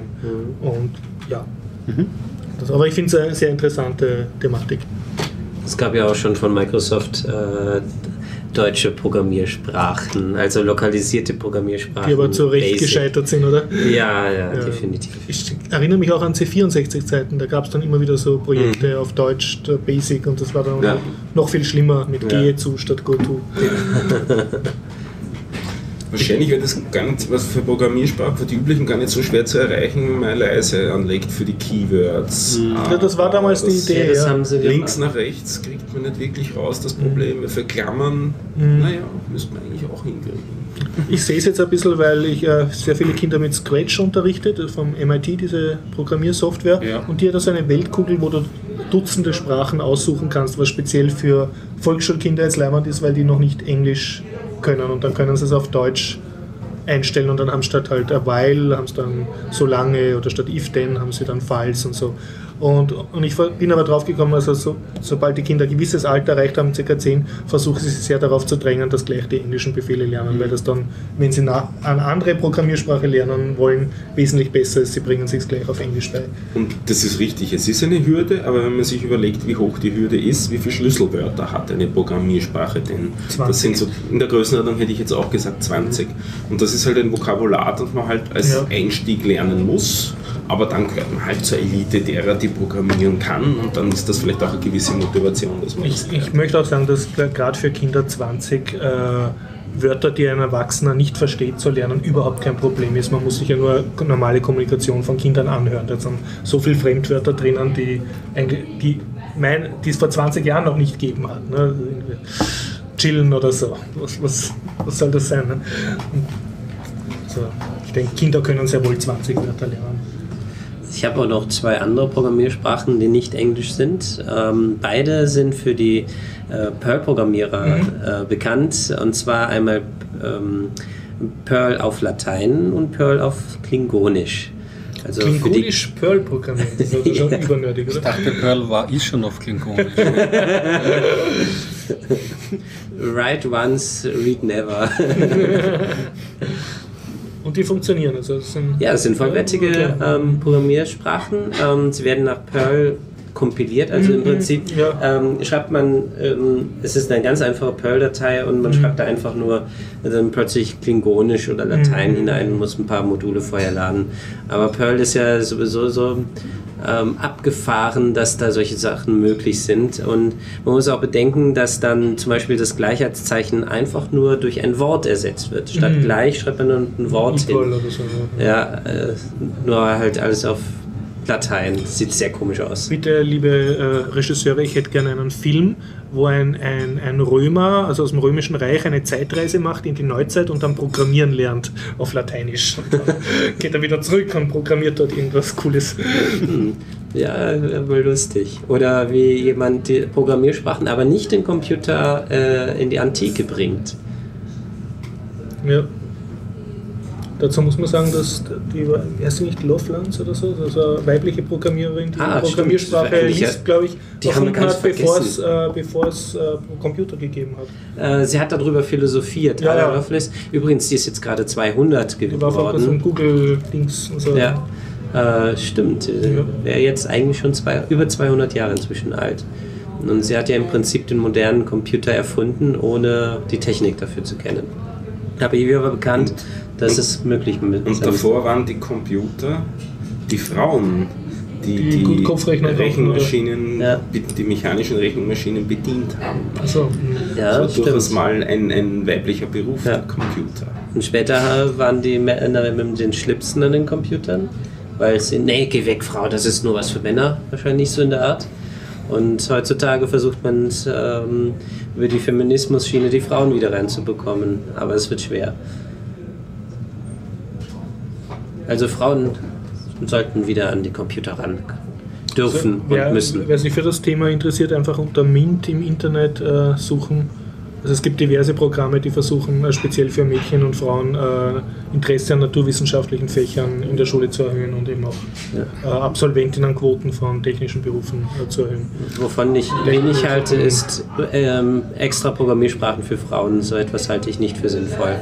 Mhm. Also et etwas extra für Frauen, an Frauen gerichtet zu entwickeln, ist nicht so sonderlich gut, weil dadurch ähm, äh, erschafft man gleichzeitig auch eine Hürde wieder, dass Frauen und Männer zusammenarbeiten können. Weil wenn sollten beide da, dasselbe Vokabular benutzen und nicht ähm, dazwischen eine Barriere aufbauen. Gibt auch in Österreich einige Initiativen dazu. Pi Ladies, Rails Girls. Railgirls, ja. Ups, jetzt habe ich schon wieder was mit Ruby gesagt. Sonst einfach in, in Sektor 5 schauen, zur Flur, die ja dort Community Managerin ist, die ist auch sehr rührig, was das Thema anbetrifft. Die kümmert sich zurzeit hauptsächlich um ihr Baby. Daher, Ja, wenn man Interesse daran hat, das lernt gerade krabbeln. Ach so, Und daher, wenn man daran Interesse hat, äh, mit der Laura in Kontakt treten. Twitter-Handle ist Alice Tragedy. Und sonst gibt es noch die Woman in Tech Vienna, die, ich, die Timia macht da viel. Die kenne ich nicht. Ja, die, also die machen Weder auch die so. Person ein- noch die Initiative. Aber habe ich da was gelernt? Alles, alles eine Bande, können alle irgendwie zum Sektor 5. nein, nein, also es gibt, es gibt diverse Initiativen und wird auch von, von Firmen recht gefördert. Also wenn man sich als weibliche Person in Österreich fürs Programmieren interessiert, sollten es eigentlich genug Initiativen geben, die, wo man mitmachen kann. Einfach ein bisschen schauen. Gerüchteweise kann man es bei Spielen programmieren auch lernen. Kann man, ja, ich habe auch weibliche Kundinnen. Ist Im auch okay. Geld bringe ich jedem Programmieren bei. Also fast, fast jedem. Gut. Gut. Ein Theaterstück. Was? Nein, ich, bin ich habe ein, ich habe meins gebracht, außerdem habe ich jetzt mein, mein, meine Themenliste weg. Aber dann Woody Allen, ja genau. Oder nehme ich euch äh, den Senderaum weg? Wollt ihr was was- der Senderaum was- ist so Ich habe noch ein das- Nerd-Thema und Nerd-Thema. Ja, äh, äh, schöner Meckern und ja. Dann mach vielleicht den, den Nerd Nerd-Thema. Ich brauche jetzt mal Oh je, oh je, oh je. Ja, da können in dieser Zeit dann alle schlafen. Großes Bier? Großes Bier, bitte. Und für mich noch ein Tee. Äh, ja, Das, das kommt vor, jetzt haben wir sogar einen Schanig. Wer wird es nur bestellen? jetzt können wir noch Thema. schnell äh, über ihn lästern, solange er weg ist. Niemand würde jemals über Stefan lästern. nee. So, Wir sollten jetzt gleich, wenn er wiederkommt, So. ganz laut lachen, einfach nur so. so. Nerd-Thema, äh, Dennis. Ja, okay. Ähm, letztes Jahr war ja Let's Encrypt-Thema. Ja. Ich habe dazu einige Sachen dann ähm, mich noch informiert und so weiter. Das lasse ich alles weg, weil was viel Interessanteres zu dem Thema nämlich jetzt aufgekommen ist. Und zwar CAs, um Malware zu verbreiten.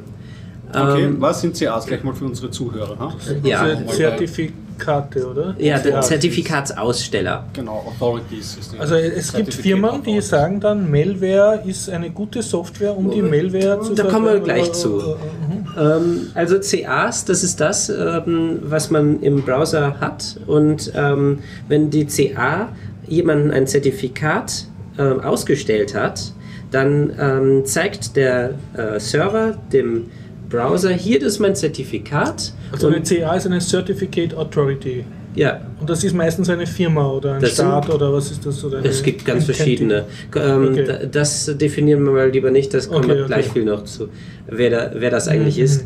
Aber auf jeden Fall, ähm, das Zertifikat wird dem Browser gezeigt und der Browser kann dann anhand des Zertifikats überprüfen, von, ähm, von wem es ausgestellt worden ist. Und ähm, wenn er sa äh, sagen kann, ja, das ist vertrauenswürdig, weil diese Person hat das unterschrieben, also diese CA, dann sage ich, okay, dann ist das vertrauenswürdig und im Browser wird dir oben das grüne Logo angezeigt. Also so circa wie ein, ein, ein Public Key, der signiert wurde von einem vertrauenswürdigen. ja, genau. Es ist ein Public Key. das ist das. ähm, Zertifikat und Public Key ist im Prinzip ein und dasselbe. Okay. Der Unterschied ist nur zwei verschiedene Welten Mhm, PGP.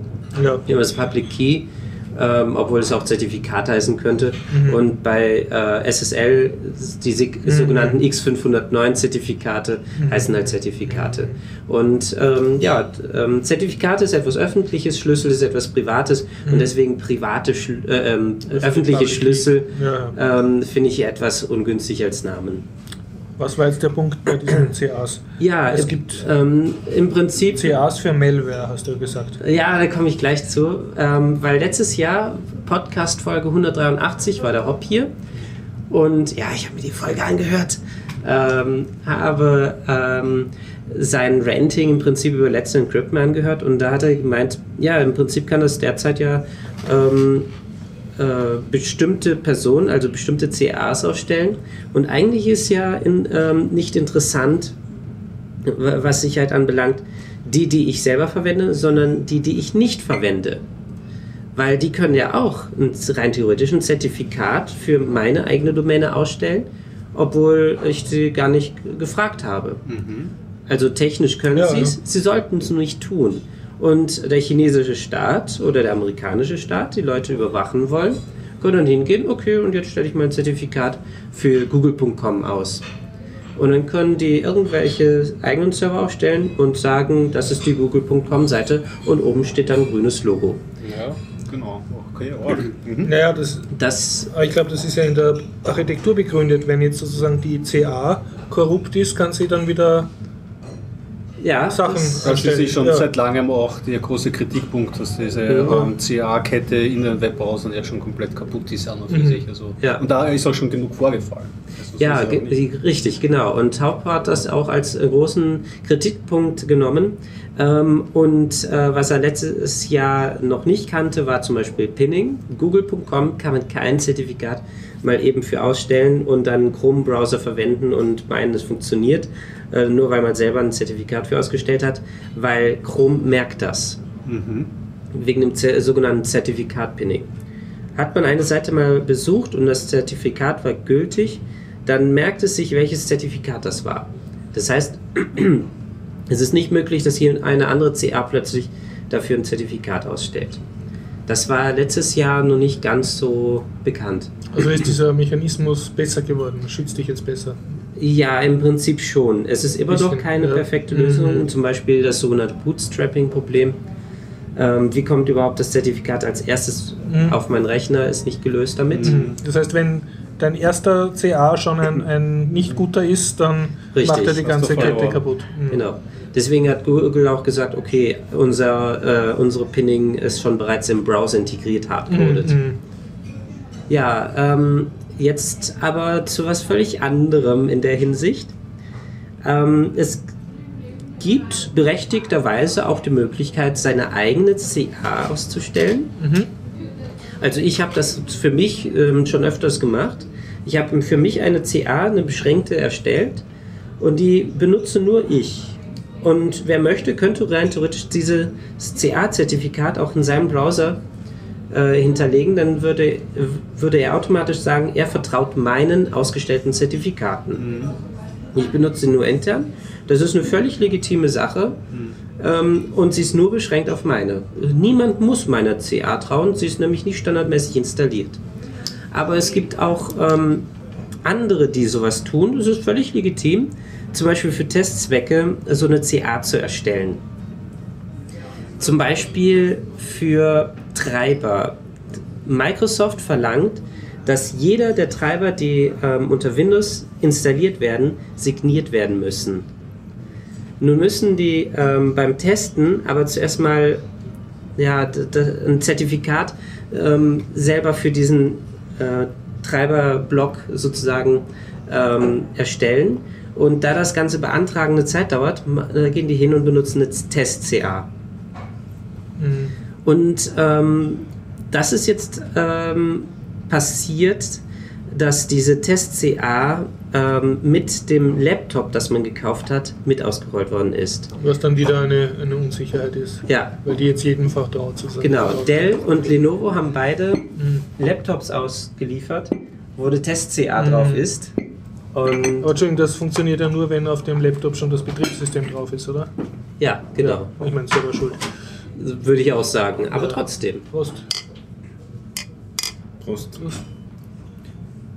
Ähm, d- aber es ist äh, gleichzeitig auch eine Sicherheitslücke, weil nämlich ähm, bei Dell war es so, dass, das, äh, dass der private Schlüssel mit ausgeliefert worden ist. Das heißt, jeder konnte dieses verwenden.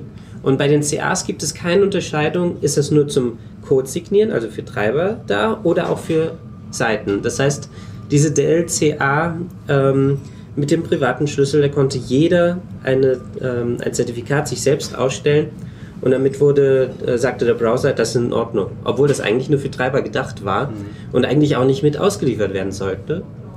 Ähm, aber das hat mich auf eine Idee gebracht. Nun, wieso bringt, ähm, achso, noch was vorweg, man kann diese CAs installieren, nachinstallieren.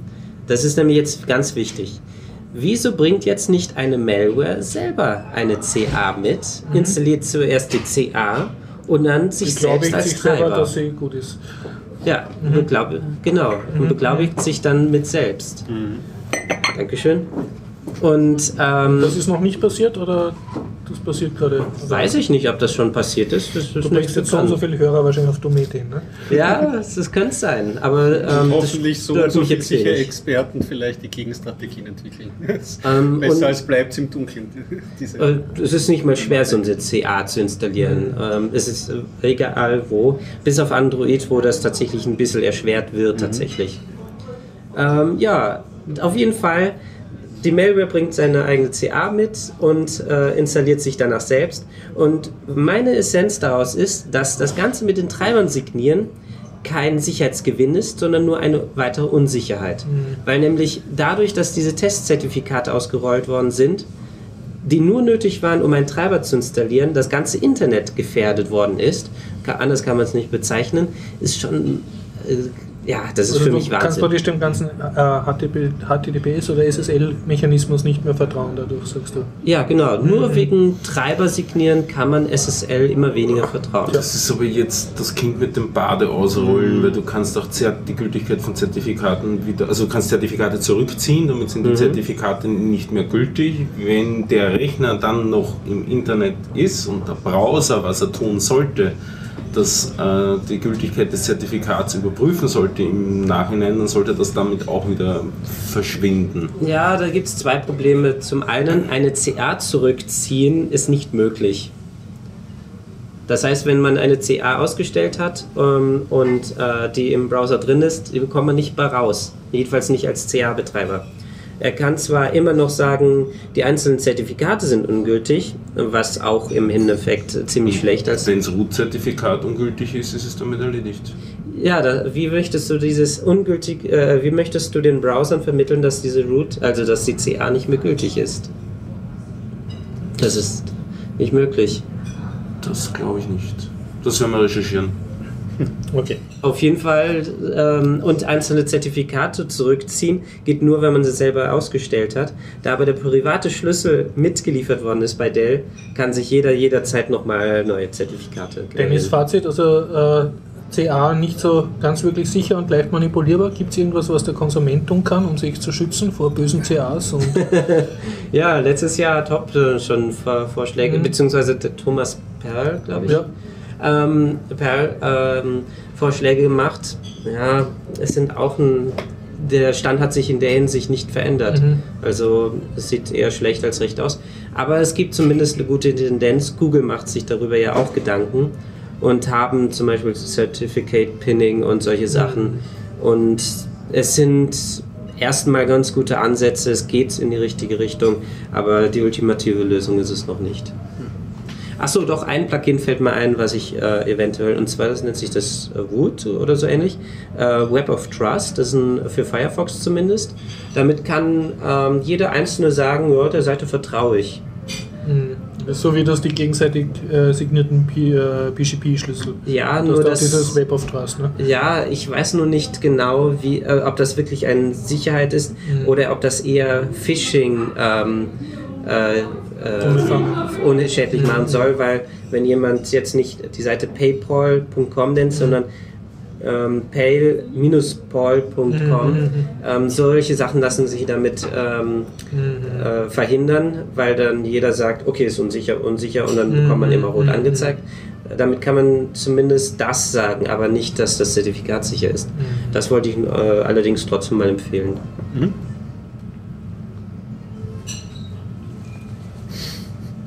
sehr gut. Nerd-Thema, meine Herren, oder schöner Leben? Schöner Nerd. Schöner Nörden? Ja. Horror, du hattest ja diesen Woody Allen-Film, den bin ich ja, Ja, schon ja. gespannt, was du über den zu berichten hast. Gut, äh, wie viel darf ich spoilern? Ich bin nämlich schon beim Gar nicht, ich möchte mir anschauen.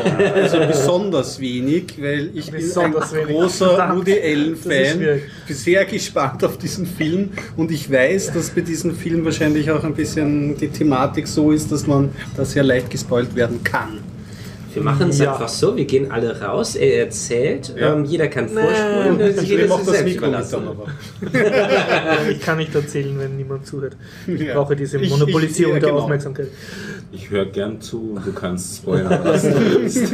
Okay, also ähm, Stefan schläft dabei gemütlich ein. wenn Sie das jetzt nicht schwer finden, probieren Sie bitte äh, zwei Bier zu trinken und dann einen Film zu erzählen, ohne die Handlung zu sehr zu verraten. Mhm. Das ist gar nicht so leicht.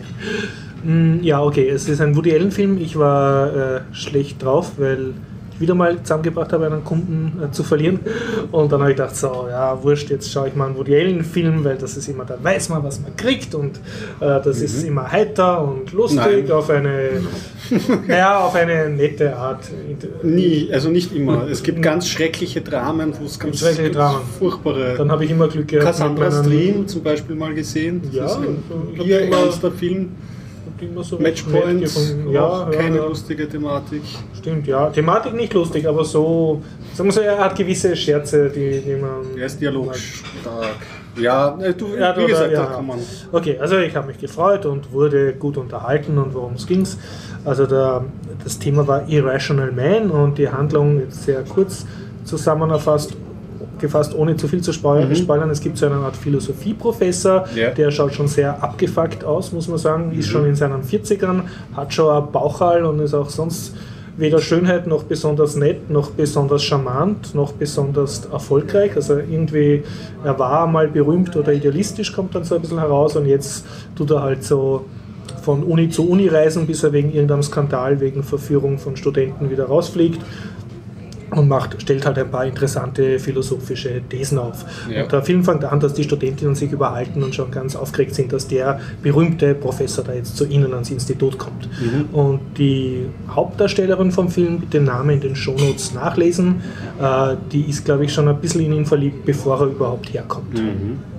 Und ihn, dann kommt er auch wirklich her und macht halt Vorlesungen und sie bleibt natürlich länger sitzen und präsentiert ihm dann seine Hausübung und wird von ihm gelobt und dann ist es schon um sie geschehen und sie verknallt sich in den und versucht da so eine Affäre mit ihm anzufangen und er geht das eh sehr ruhig an, weil er ist so lebensmüde und, und demotiviert, dass er auch nicht einmal richtig Lust hat, eine Affäre anzufangen. Gleichzeitig wird er von der Nachbarin verführt, der Vater ist mit ihrem Mann, die ist schon ein bisschen älter, aber sehr lebenslustig. Und auch da ziert er sich und lässt sich sehr bitten. Äh, Also er ist sozusagen, ich glaube, für mich war das schon witzig. Also das Ja. als alter schiercher Mann, der Grumpy total ohne Grumpy Old Man, ohne sich irgendwie anzustrengen, stehen mehrere schöne Frauen auf ihn und zehren an ihm sexuell und amorös und, und er hat eigentlich zu überhaupt nichts Lust. Also so, das war für mich schon mal ein super Grund, Grundsetting und er hat auch nichts Liebenswertes an sich. Der Typ. Also der Spiel er ist richtig einfach so, er ist nicht irgendwie sehr bösartig, aber er ist so, ihn interessiert es einfach nicht. Ja. Das macht die Frau natürlich noch mehr verrückt. Ne? Und was passiert jetzt? Äh, unabsichtlich schafft es die junge Liebhaberin von ihm, die Studentin, die geht dann dauernd mit ihm aus und so und er tut sie so als praktisch als, als platonische Freundin halten. Also sie darf mit ihm öfter fortgehen und er quasselt sie dann halt voll mit philosophischen Sachen und äh, Geschichten aus seiner Vergangenheit und sie himmelt ihn halt voll an. Ne? Und da sitzen sie in einem Restaurant und hören so mit vom Nachbartisch in so eine sehr traurige Geschichte. Das sind so eine Familie, die gerade von einem Scheidungsgerichtsverfahren kommt. Und die Frau jammert, dass der Scheidungsrichter so korrupt ist und deshalb hat sie keine Chance, die Kinder zu sehen. Und die Kinder werden ihrem unfähigen Mann zugesprochen und, oder Ex-Mann und, und wie das alles schlimm ist. Und ja und dann irgendwie tun die beiden halt, also der Professor und die Studentin so spaßhalber überlegen, äh, was man da machen könnte. Und sie kommen dann zu einem Gespräch drauf, naja, man könnte ihn umbringen und dann wird die Welt ein bisschen besser sein. Das ist sozusagen das Grundsetting, Das kannst du die Welt verbessern und äh, indem du jemand anderen umbringst. Das und, ist ja ein Thema, was ja oft in der Literatur schon aufgearbeitet wurde und auch so gerade der Woody Allen in, in Filmen wie Matchpoint oder so, dieses, dieses Mordthema und Ja. dieses Schuldthema und kann man das durchführen? Eine interessante philosophische Frage. Das freut mich. Aber wir, ja, soll ich jetzt aufhören? Oder aufhören, ja, also Okay. aufhören von der Handlung, aber Ups.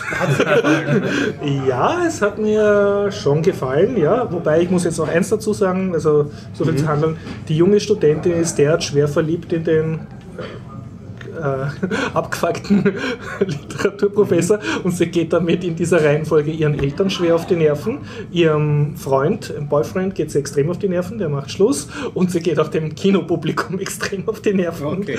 Das ist so, weil sie schwärmt dauernd in jeder Szene, wo du sie siehst, tut sie irgendwem vorschwärmen, was für wie an der ist und wie toll und wie faszinierend und so. also das kommt auch gut an. Also es Ja, verfehlt die Wirkung beim Publikum. Ja, also man, man wünscht sich so, sie einmal also so zu schütteln und sagen, jetzt, red einmal von was anderem. ne? Und das war, ja, war, war irgendwie witzig. Ja. Und ja, Sehenswert?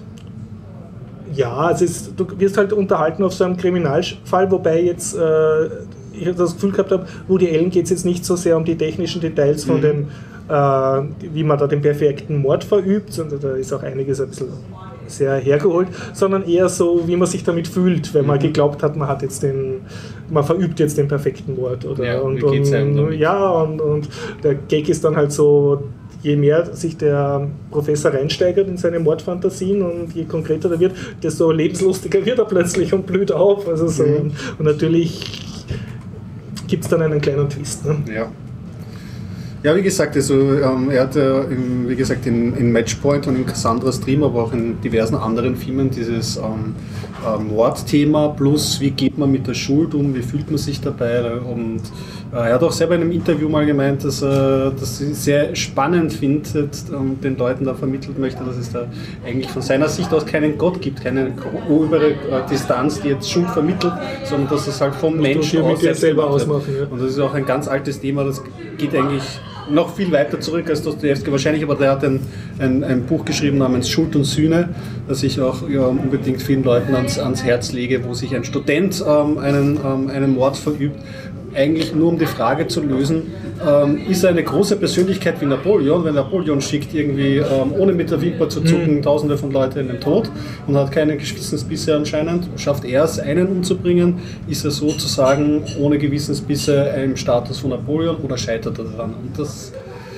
da also kommen halt sehr viele Themen rein. Menschheitsfrage, ob du irgendwie was davon hast, andere umzubringen und dich Ja, genau. Messen. Das wird ja auch Macht bemessen. Ne? Ja, richtig, genau. Also das mhm. ist auf jeden Fall spannend und ja, gut, wenn das, wenn das unterhalten hat, umso besser. Zu welcher Erkenntnis bist du jetzt gekommen? Ich persönlich, ja, ich habe, ich, Weil die ja ich wollte das nur Vornamen nennen ja, und so weiter. ja, genau, also, also, mit Empirie und so, na, also ja, du hast doch niemand umgebracht. Nein, ich will nicht, dass ich jetzt sagen kann. nicht, dass du es sagen kannst. ganz was anderes zum Thema jemand umbringen. Ja. ihr, ihr kennt theonion.com, so eine Seite, die Fox mhm. News verarscht hauptsächlich. Mhm. Und ich bin über Englische Postillon im Prinzip. Ja, ja. Und machen sehr gute Videos, aber auch sehr gute so Zeitungs-Fake-Meldungen, wo du immer sehr genau lesen musst, bis du wirklich kapierst, ah, das ist jetzt Satire, weil es halt so so, ah, es könnte echt sein. Und mir ist, obwohl ich Onion sehr gut kenne und eigentlich auch sehr mag, ist mir das passiert, dass ich über ein Reddit-Posting gestolpert bin und da war irgendwas amerikanische neue Exekutionstechnik und so und ich klicke drauf und was ist das? Und äh, jetzt, wenn ich es erzähle, ist sofort klar, das ist Satire, aber ich habe ziemlich schlucken müssen und, und gebraucht, bis ich kapiert habe, mhm. dass das eine Satire war und nicht ernst, weil man halt gewisse Vorteile gegenüber USA hat. Und es war so ein wie soll ich sagen, eine Meldung mit so gerenderten Fake-Videos und dann wieder so reingeschnittenen Echt-Videos und das Ganze von einer Nachrichtensprecherin präsentiert. Und unten standen schon so witzige Untertitel und auch dieses Onion-Symbol, aber es war so gut gemacht. Also für mich hat es sehr beklemmend ernst gewirkt. Und zwar äh, ging es darum, also ein, eine weil in den USA gehen diese Medikamente aus, die von Deutschland geliefert werden, um äh, Exekutionen zu machen, um die Giftspritze. Die, diese Giftspritzen. Und was macht die USA jetzt? Und die Lösung war so eine Art riesiger Robotergreifarm, der den Kopf nimmt und so abdreht also nicht äh, abschneidet, mhm. sondern so abdreht und dann nach oben auf sein Tablett legt und dort wird noch mit einem riesigen Hammer draufgehauen, damit er sicher sofort tot ist und nichts mehr mitkriegt. Ja, das war so das Setting und das wurde mehrmals sehr grafisch dann in seinem Art Render-Video gezeigt und dazwischen dann wieder immer die, äh, die Nachrichtensprecherin, die so leicht schockiert, aber professionell in die Kamera zeigt und ich habe es dann wirklich erst gemerkt, wie dann so ein Interview war mit so Leuten, die der Exekution beigewohnt haben, die dann in so ganz blutverschmierten Mänteln waren und da habe ich dann gedacht, okay, das ist jetzt Satire. Und zuerst hat es mich echt so gerissen und gedacht, na, das, ah, das gibt's nicht, was die Amis, man traut ihnen ja alles zu, nur mit Exekutionstechniken und so. Und ja, onion.com, also Volltreffer. Mhm. Aber sehr trauriges Thema. Ne? Nur zum ja, jetzt ja, Stimmung. Ja, Stimmung. Dann bringe ich uns ein bisschen in okay, Weihnachtsstimmung. Ach, ich bin jetzt in guter Laune. Äh, ich habe, ja, das werde ich nur ganz kurz bringen, aber es hat mir so gut gefallen. Ich habe letzte Woche ähm, war ich ja krank und hatte ein bisschen Zeit und habe mir deswegen ähm, auf Amazon Prime eine Miniserie der BBC angeschaut, ähm, basierend auf einem Roman aus dem Jahr 2004, ähm, geschrieben von der, ich glaube, britischen Autorin Susanna Clarke. Ähm, das war ihr Erstlingswerk und ein großer Erfolg. Ähm, der Roman hat geheißen Jonathan Strange and Mr. Norrell. Und das ist ein sogenannter Alternative äh, Reality History Roman. Es, äh, und die Serie besteht aus äh, zehn, zehn, zehn Folgen und ähm, spielt in so einem Dickens England, also mhm. ähm, England 19. Jahrhundert. Industrialisierung? Ähm, ja, genau, die äh, ist ein bisschen, bisschen steampunkig im Buch mehr. Also ich, ich, muss ja eigentlich davor sagen, ich war, wie ich mir das angeschaut habe, da muss ich dich vielleicht dann auch in Schutz nehmen, weil ich dich immer so beim Spoilern niederdrücke. Ich habe mich bei dieser Serie komplett gespoilert, weil ich habe vorhin einen Podcast angehört über, drei, über, die Serie. Drei, über, über dreieinhalb Stunden, den ich sehr gerne habe. Also das Podcast heißt Spoiler Spoiler-Alarm. Ja. Zwei, Leute, zwei Leute unterhalten, zuerst die Handlung erzählen und dann noch einmal genauso lange Interpretation liefern Und über die dann, Handlung. dann warst du so angefixt, dass du jetzt auch den Film zum Nein, ja, genau, richtig. Ich bin dann einfach im Programm drüber gestochen und habe gedacht, ach, das Six, da habe ich doch drüber Ja. ähm, ähm, gehört und das, das, das hat mir sehr gut gefallen. Und dann habe ich mir die Serie angeschaut und die ist aber auch wirklich, auch ähm, ähm, wenn man schon über die, das Buch gehört hat, ähm, sehr gut ähm, umgesetzt.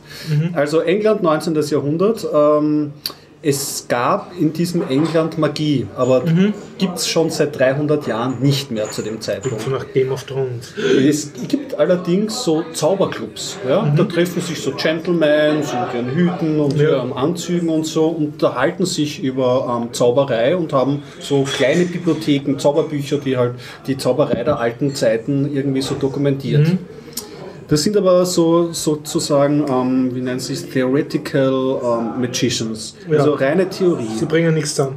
Das, das Zaubern ist sogar verpönt. Das ist Mhm. ähm, ein Ding der Vagabunden, der Gaukler, das ist was Zwielichtiges. Mhm. Ein echter Gentleman der, ähm, oder ein echter theoretischer Mhm. Magier, der setzt sich damit in Büchern auseinander, diskutiert fein im Gentleman's Club Mhm. und geht dann wieder nach Hause. Ja? Ähm, so kommt es aber eines Tages, ähm, dass es jemanden gibt, den Mr. Norrell, der ähm, tatsächlich anscheinend zaubern kann. Und ein, ähm, ein Zauberclub in Yorkshire, der lässt sich diese Fähigkeiten unter der Bedingung, die müssen sie vorher unterschreiben, dass sie selber ihren Club auflösen und sich nicht mehr mit Magie beschäftigen, ähm, lassen sich diese praktischen Fähigkeiten vorführen. Und ja, klar, dieser Mr. Norrell in einer Kathedrale zaubert er so vor sich hin und lässt dort die Steinfiguren zum Sprechen anfangen und alle sind jetzt ähm, überzeugt von seinen magischen Fähigkeiten, dass die auch echt sind. Und ähm, Mr. Norrell ist ein ziemlicher Eigenbrötler, will eigentlich nicht ähm, wirklich, dass das Wissen an die Öffentlichkeit gelangt, aber er kann es auch nicht ganz lassen. Ähm, er möchte der Magie ähm, zu Ansehen, zum neuen Ansehen verhelfen, nämlich der praktischen Magie.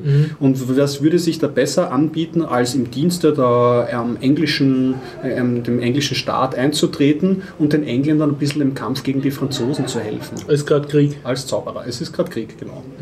Und ähm, ja, er zieht das aus zu diesem Code nach London und ähm, mit langem Hin und Her schafft das auch dort irgendwie an Seite für England zu kämpfen. Es taucht dann im Laufe der Handlung auch ein zweiter Zauberer auf. Einer, der nicht so wie der Mr. Norrell so ein akribischer ähm, Wissenssammler ist. Also der Mr. Norrell, muss man noch wissen, hat eine riesig große Sammlung und hält sich streng an seine Bücher und hat einen sehr, sehr ähm, gelehrten, wissenschaftlichen Zugang zu dieser ganzen Sache. Ähm, der Jonathan Strange. Und der Jonathan Strange äh, hat ein bisschen Wissen schon, aber eigentlich macht er alles mehr nach Gefühl. Mehr so Praktiker. Genau, so ein Praktiker und zaubert halt auch zusammen. Und ähm, kommen sie drauf, der kann auch zaubern. Und der wird dann so in die Fittiche von Mr. Norrell gegeben, irgendwie sozusagen zu dem in die Ausbildung geschickt. Und diese beiden Gemüter, wie man sich vorstellen kann, der eine, der irgendwie sehr vorsichtig und bedacht ist und der andere, der wild drauf loszaubert, die vertragen sich dann ähm, ähm, nicht so gut, da kommt es dann immer wieder zu Konflikten. Und ohne zu viel über die Handlung zu verraten, ähm, äh, es entwickelt sich dann halt eine, eine, eine, eine Serie von, ähm, von, von Ereignissen, die das ganze, die ganze Zauberszene und die ganze Magie in England verändern soll. Und es geht sehr viel um ähm, die Freundschaft, aber auch um, den, um die Rivalität und den Kampf zwischen dem Mr. Norrell und dem Jonathan Strange. Und mir hat diese Idee, also ich bin ja nicht, nicht so der Harry Potter Zauber-Fan oder so, aber dieses, ähm, dieses, dieses Setting auch, ähm, der Mr. Norrell möchte eben auch diese, diese, äh, ähm, die Zauberei in ein modernes England eingliedern und, und das war sehr interessant. Ich fand diese Prämisse sehr Aber es ist interessant. für Erwachsene, es ist nicht für. Kinder. Es ist nicht für Ki definitiv nicht für Kinder, ja. Es ist ähm, aber in einer ähm, sehr aufwendig produziert, also die Ästhetik ist halt wirklich, muss es sich eigentlich vom Film nicht verstecken. Es hat zehn Episoden, es ist sehr überschaubar und ähm, das ist eine der Miniserien, wo ich mir gedacht hätte, boah, da hätte ich jetzt, hätte ich das jetzt kurz vor Weihnachten oder zwischen, zwischen Weihnachten und Silvester wäre das wahrscheinlich ideal gewesen und ich habe mir fast noch mehr Folgen gewünscht davon, aber es Weil das Setting so schön war und die ja, und so. richtig, genau. Und weil es mal was anderes war. Kann Und ich kommen, empfehlen. kommen auch Frauen vor oder Intrigen oder Gefechte oder. Also es kommt dann, also man kann eines vielleicht so ein bisschen andeuten, mh, es nimmt so ein bisschen das Unglück seinen Lauf, als dann Mr. Norrell von Premierminister oder einem sehr hohen Politiker, dessen Frau ist gestorben. Und Mr. Norrell wird gebeten, diese Frau wieder zurückzuholen. Klassiker. Ja, dann ist die, äh, er holt dafür, er beschwört davon, ähm, dafür dann einen, einen, ähm, einen Elfen ähm, aus dem Zauberreich, der schon lange irgendwie geschlafen hat, irgendwie, ähm, hervor. Und der macht mit ihm einen Pakt. Das ist die Hälfte der, ein Faustscher Pakt. Die Hälfte der Zeit ähm, bekommt sie, die andere Hälfte ihrer geschenkten Lebenszeit gehört ihm. Ja. Und man kann sich schon denken, dass das kein guter Pakt ist und daraus entstehen jede Menge Probleme und so entwickelt sich das Ganze auch. Na, wirklich sauber gemacht, wunderbare englische Schauspieler, Mimik und ich habe es, also wir haben's, ich habe es nicht gekannt, also ich habe es nicht gekannt, ich habe hab die erste Folge angefangen, abge, also dann ab der Hälfte abgebrochen, habe gesagt, so jetzt hole ich mir Gesellschaft her, weil das kann ich nicht alleine schauen und dann haben wir es, glaube ich, zu dritt oder so, haben wir alle zehn Binge-Watching ein- ja, gemacht. einen, Toll, ja. Watch durch und das war super. Und wie heißt der Name jetzt nochmal von der ganzen Serie? Also das ist ähm, ähm, Jonathan Strange und Mr. Norrell. Mhm. Okay. Eine absolute Empfehlung. Und vielleicht das Buch auch. Ja. Ich hätte auch nur eine englische Serie Ja. zu empfehlen. Sprich, sprich. Und zwar eine Serie, die schon etwas älter ist, ähm, jetzt auch schon auf Blu-ray gibt, und zwar äh, auf Englisch The Prisoner. Äh, falls dem äh, jetzt sagt, äh, die Serie war scheiße, ich meine das Original aus den 60er Jahren. I'm not a number, I'm a free man. Richtig, genau. Schön. Ja, lass erzählen. Du wirst das gleich. ähm, oder Nummer 6 heißt sie auf Deutsch. Äh, in den Simpsons auch oft parodiert und die Serie ist einfach himmlisch genial. Es geht darum, dass ein Mann, ähm, ähm, der beim Geheimdienst tätig ist, als Agent, ähm, sagt, er hört jetzt auf und ähm, geht nach Hause und wird entführt auf eine Insel oder in, ähm, nicht auf eine Insel, sondern in das Dorf, The Village. Ähm, und dort bekommen alle Personen einfach nur Nummern und er ist Nummer 6. Und ähm, es gibt auch eine Nummer 2, eine Nummer 1 sieht man nicht. Und äh, die Fragen, die sich stellen dem Zuschauer, äh, die Serie besteht nur aus 16 Folgen, glaube ich, oder 13, ich weiß gar nicht mehr. Ähm, wer ist Nummer 1? Ähm, wieso ist er dort? Wieso hat er seinen Job ähm, niedergelegt? Und ähm, was ist, hat es sich mit diesem The Village oder das Dorf auf sich? Das sind die zentralen Fragen, die sich schon in der ersten Folge stellen und ähm, bis zum Ende der Serie aufrechterhalten werden. Die Serie ist wirklich sehenswert. Ähm, wenn man die Serie anschaut, zuerst einmal fällt einem nicht auf, dass es dass die Serie aus den 60er Jahren stammt. Die Serie wurde nämlich damals mit richtig guten Kinokameras in Farbe gedreht. Cool. Obwohl das noch gar nicht gang und gäbe ist. Serien waren- wurden bis dahin eigentlich noch immer in Schwarz-Weiß gedreht. Und ähm, also die, ich habe die auf Blu-ray, die Bildqualität ist äh, astrein. Also äh, damals wurde schon in HD gedreht. Das Einzige ist, dass das Bildformat 4 zu 3 und nicht 16 zu 9 ist. Und ansonsten ist das HD-Qualität. Und die Leute haben nicht so auffällige Rüschchenhemden oder unmögliche Kleidung. Das ist alles so modern, das ist unglaublich. Die Serie hat Wird zeitlos. so viel Charme, ja. Ja, ein bisschen sieht man die Zeit schon, aber, die, Ja, das ist, aber, aber die, die, die, du hast schon recht, die Leute und das ganze Setting ist einfach so artifiziell, dieses Dorf, Ja, da ja. fahren sie nur so mit so Golfwägelchen rum Ja. und, und alle sind so strange drauf, 70er Jahre, auch ein bisschen LSD geschwängert, muss man sagen. 60er Und Jahre. 60er Jahre, Ja, also ja. kommende 70er Jahre Ja, ja. zeichnen sich definitiv schon ab. Also, ja, Traum, Traumserie auf jeden Ja. Fall. Und äh, da gibt es ja dann ähm, diese Gefahr, die äh, immer lauert. Wie nennt sich nochmal? Im Englischen hat es keinen Namen, auf Deutsch hat das Ding einen Namen bekommen, den ich vergessen habe. Diese weißen Blasen. Ja, genau, richtig. Es Die gibt eine Blase. Gefahr, oder was? Ja, das ist sozusagen ein Wächter in diesem äh, Dorf, der gerufen werden kann. Ein weißer, riesiger Gummiball. Ja, und es, es ist wirklich interessant, wie, äh, wie das Ding war. Ursprünglich hatten sie gedacht, sie nehmen einen Roboter mit Greifern und so weiter. Sie hatten aber Probleme, Das Ding steuern ja. ging nicht. Äh, das Ding war fix und fertig, aber sie hatten nur Probleme. Und dann, ah, was nahmen wir da stattdessen?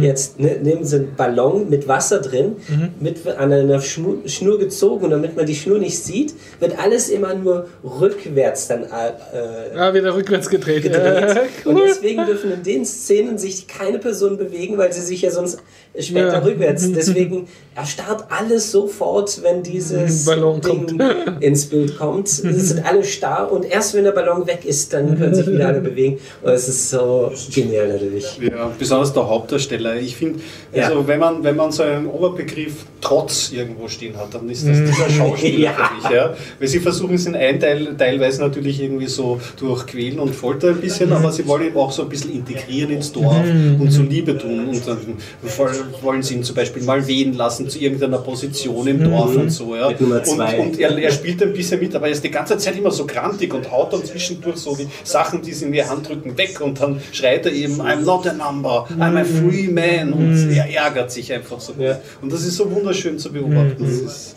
ein, ein Traum. Zu dem Schauspieler habe ich auch noch ein paar interessante Informationen. A, ähm, bevor überhaupt Sean Connery James Bond spielte, hat er einen Geheimagent in einer anderen Serie gespielt. Die wurde damals noch in Schwarz-Weiß aufgezeichnet. Ähm, manche bezeichnen es auch als die Vorgängerserie zu Nummer 6, beziehungsweise The Prisoner.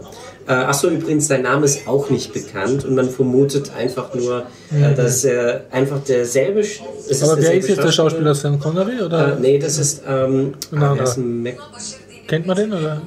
man könnte ihn kennen. Jetzt habe ich seinen Namen vergessen. Ich weiß, ich, Hm, Okay, okay. Äh, ein ziemlich guter Schauspieler jedenfalls. Er wurde vor Sean Connery überhaupt gefragt, ob er James Bond spielen möchte und später noch einmal. In beiden Fällen hat er Nein gesagt, weil er erstens nicht mit Frauen irgendwas zu tun haben wollte, nicht mit Alkohol, nicht mit Zigaretten. Und deswegen hat er jedes Mal Nein gesagt. Der Mann hat Prinzipien. Ja, er hatte Prinzipien. Und in der Serie kann man sich daher vorstellen, nicht geraucht, kein Alkohol und mit Frauen hat er auch nichts. Eine, äh, wirklich von mir eine Empfehlung. Der Schauspieler ist wahnsinnig gut. Er hat leider später wirklich kaum noch irgendwelche schauspielerischen Rollen. Ähm, und ja, Also der Prisoner. Ja. The Prisoner. Aber das Original. Ähm, Die neue Verfilmung ist wirklich nicht so dolle. Die hat eher was von Lost. Und Okay. Lost ist eigentlich nur ein billiger Abklatsch von Nummer 6. Gut. Eine Stunde 35. Ich glaube, wir könnten doch langsam. Ja, dann lasse ich die Aufklärung für nächste Mal. Stimmt, Aufklärungsrand. Ja. Ja, will sich jemand schlecht fühlen? Kommst du nächsten Dienstag kommst du nicht, oder? Nein, da komme ich nicht. Schlecht so. wollen wir uns schlecht fühlen? Schöner Abschluss zum Podcast. Ja, lieber einen schönen Abschluss. Da habe ich noch ein ganz kleines. Morgen ist Star Wars Premiere, also Ah, für uns ah, morgen. Ja. Und ich werde auch hingehen. Mal schauen, vielleicht mache ich ein paar Interviews und dann knallen wir noch hinten dran, wenn ich Kannst du die uns schicken dann? Oder Ja. am Server legen? Oder? Ansonsten gibt es die nächste Woche. Oder wenn keiner sagt. du, also ähm, schnippeln tust du trotzdem, oder? Ja, ja, schickt's mir, ich schnippel. Okay, also gut. Ansonsten, unser Angebot steht, Stefan, wenn Sie nächsten Dienstag etwas erleben wollen, kommen Sie zum Biertaucher Podcast. Es gibt ein Hefall. Und gutes Essen vom Karib. Gut, schön war's. Ich bedanke mich. Es war ein äh, erfülltes ähm, Podcast-Jahr 2015. Und man hört Das heißt, dich hört man erst 2016 wieder. Ja, genau. Okay, Mich auch. Gut. Also Ja. frohen Rutsch. Aber wir geben noch nicht auf. Wir geben nicht auf. Wir senden wie jede Woche. Wir tauchen weiter. Wir tauchen weiter. Durch Weihnachten und durch Silvester. Wobei ich glaube, nach Weihnachten lassen wir dann auch eine aus, weil wir in, in äh, oder senden wir in Hamburg, tun wir die einfach Also aufnehmen. produzieren können wir sicher. Wir produzieren es, aber dann müssen wir schauen, wie wir es Schneiden können wir ja. Okay, Das schaffen wir schon irgendwie. schalten wir mal aus. Ne? Ja. Bis dann. Bis dann, ciao.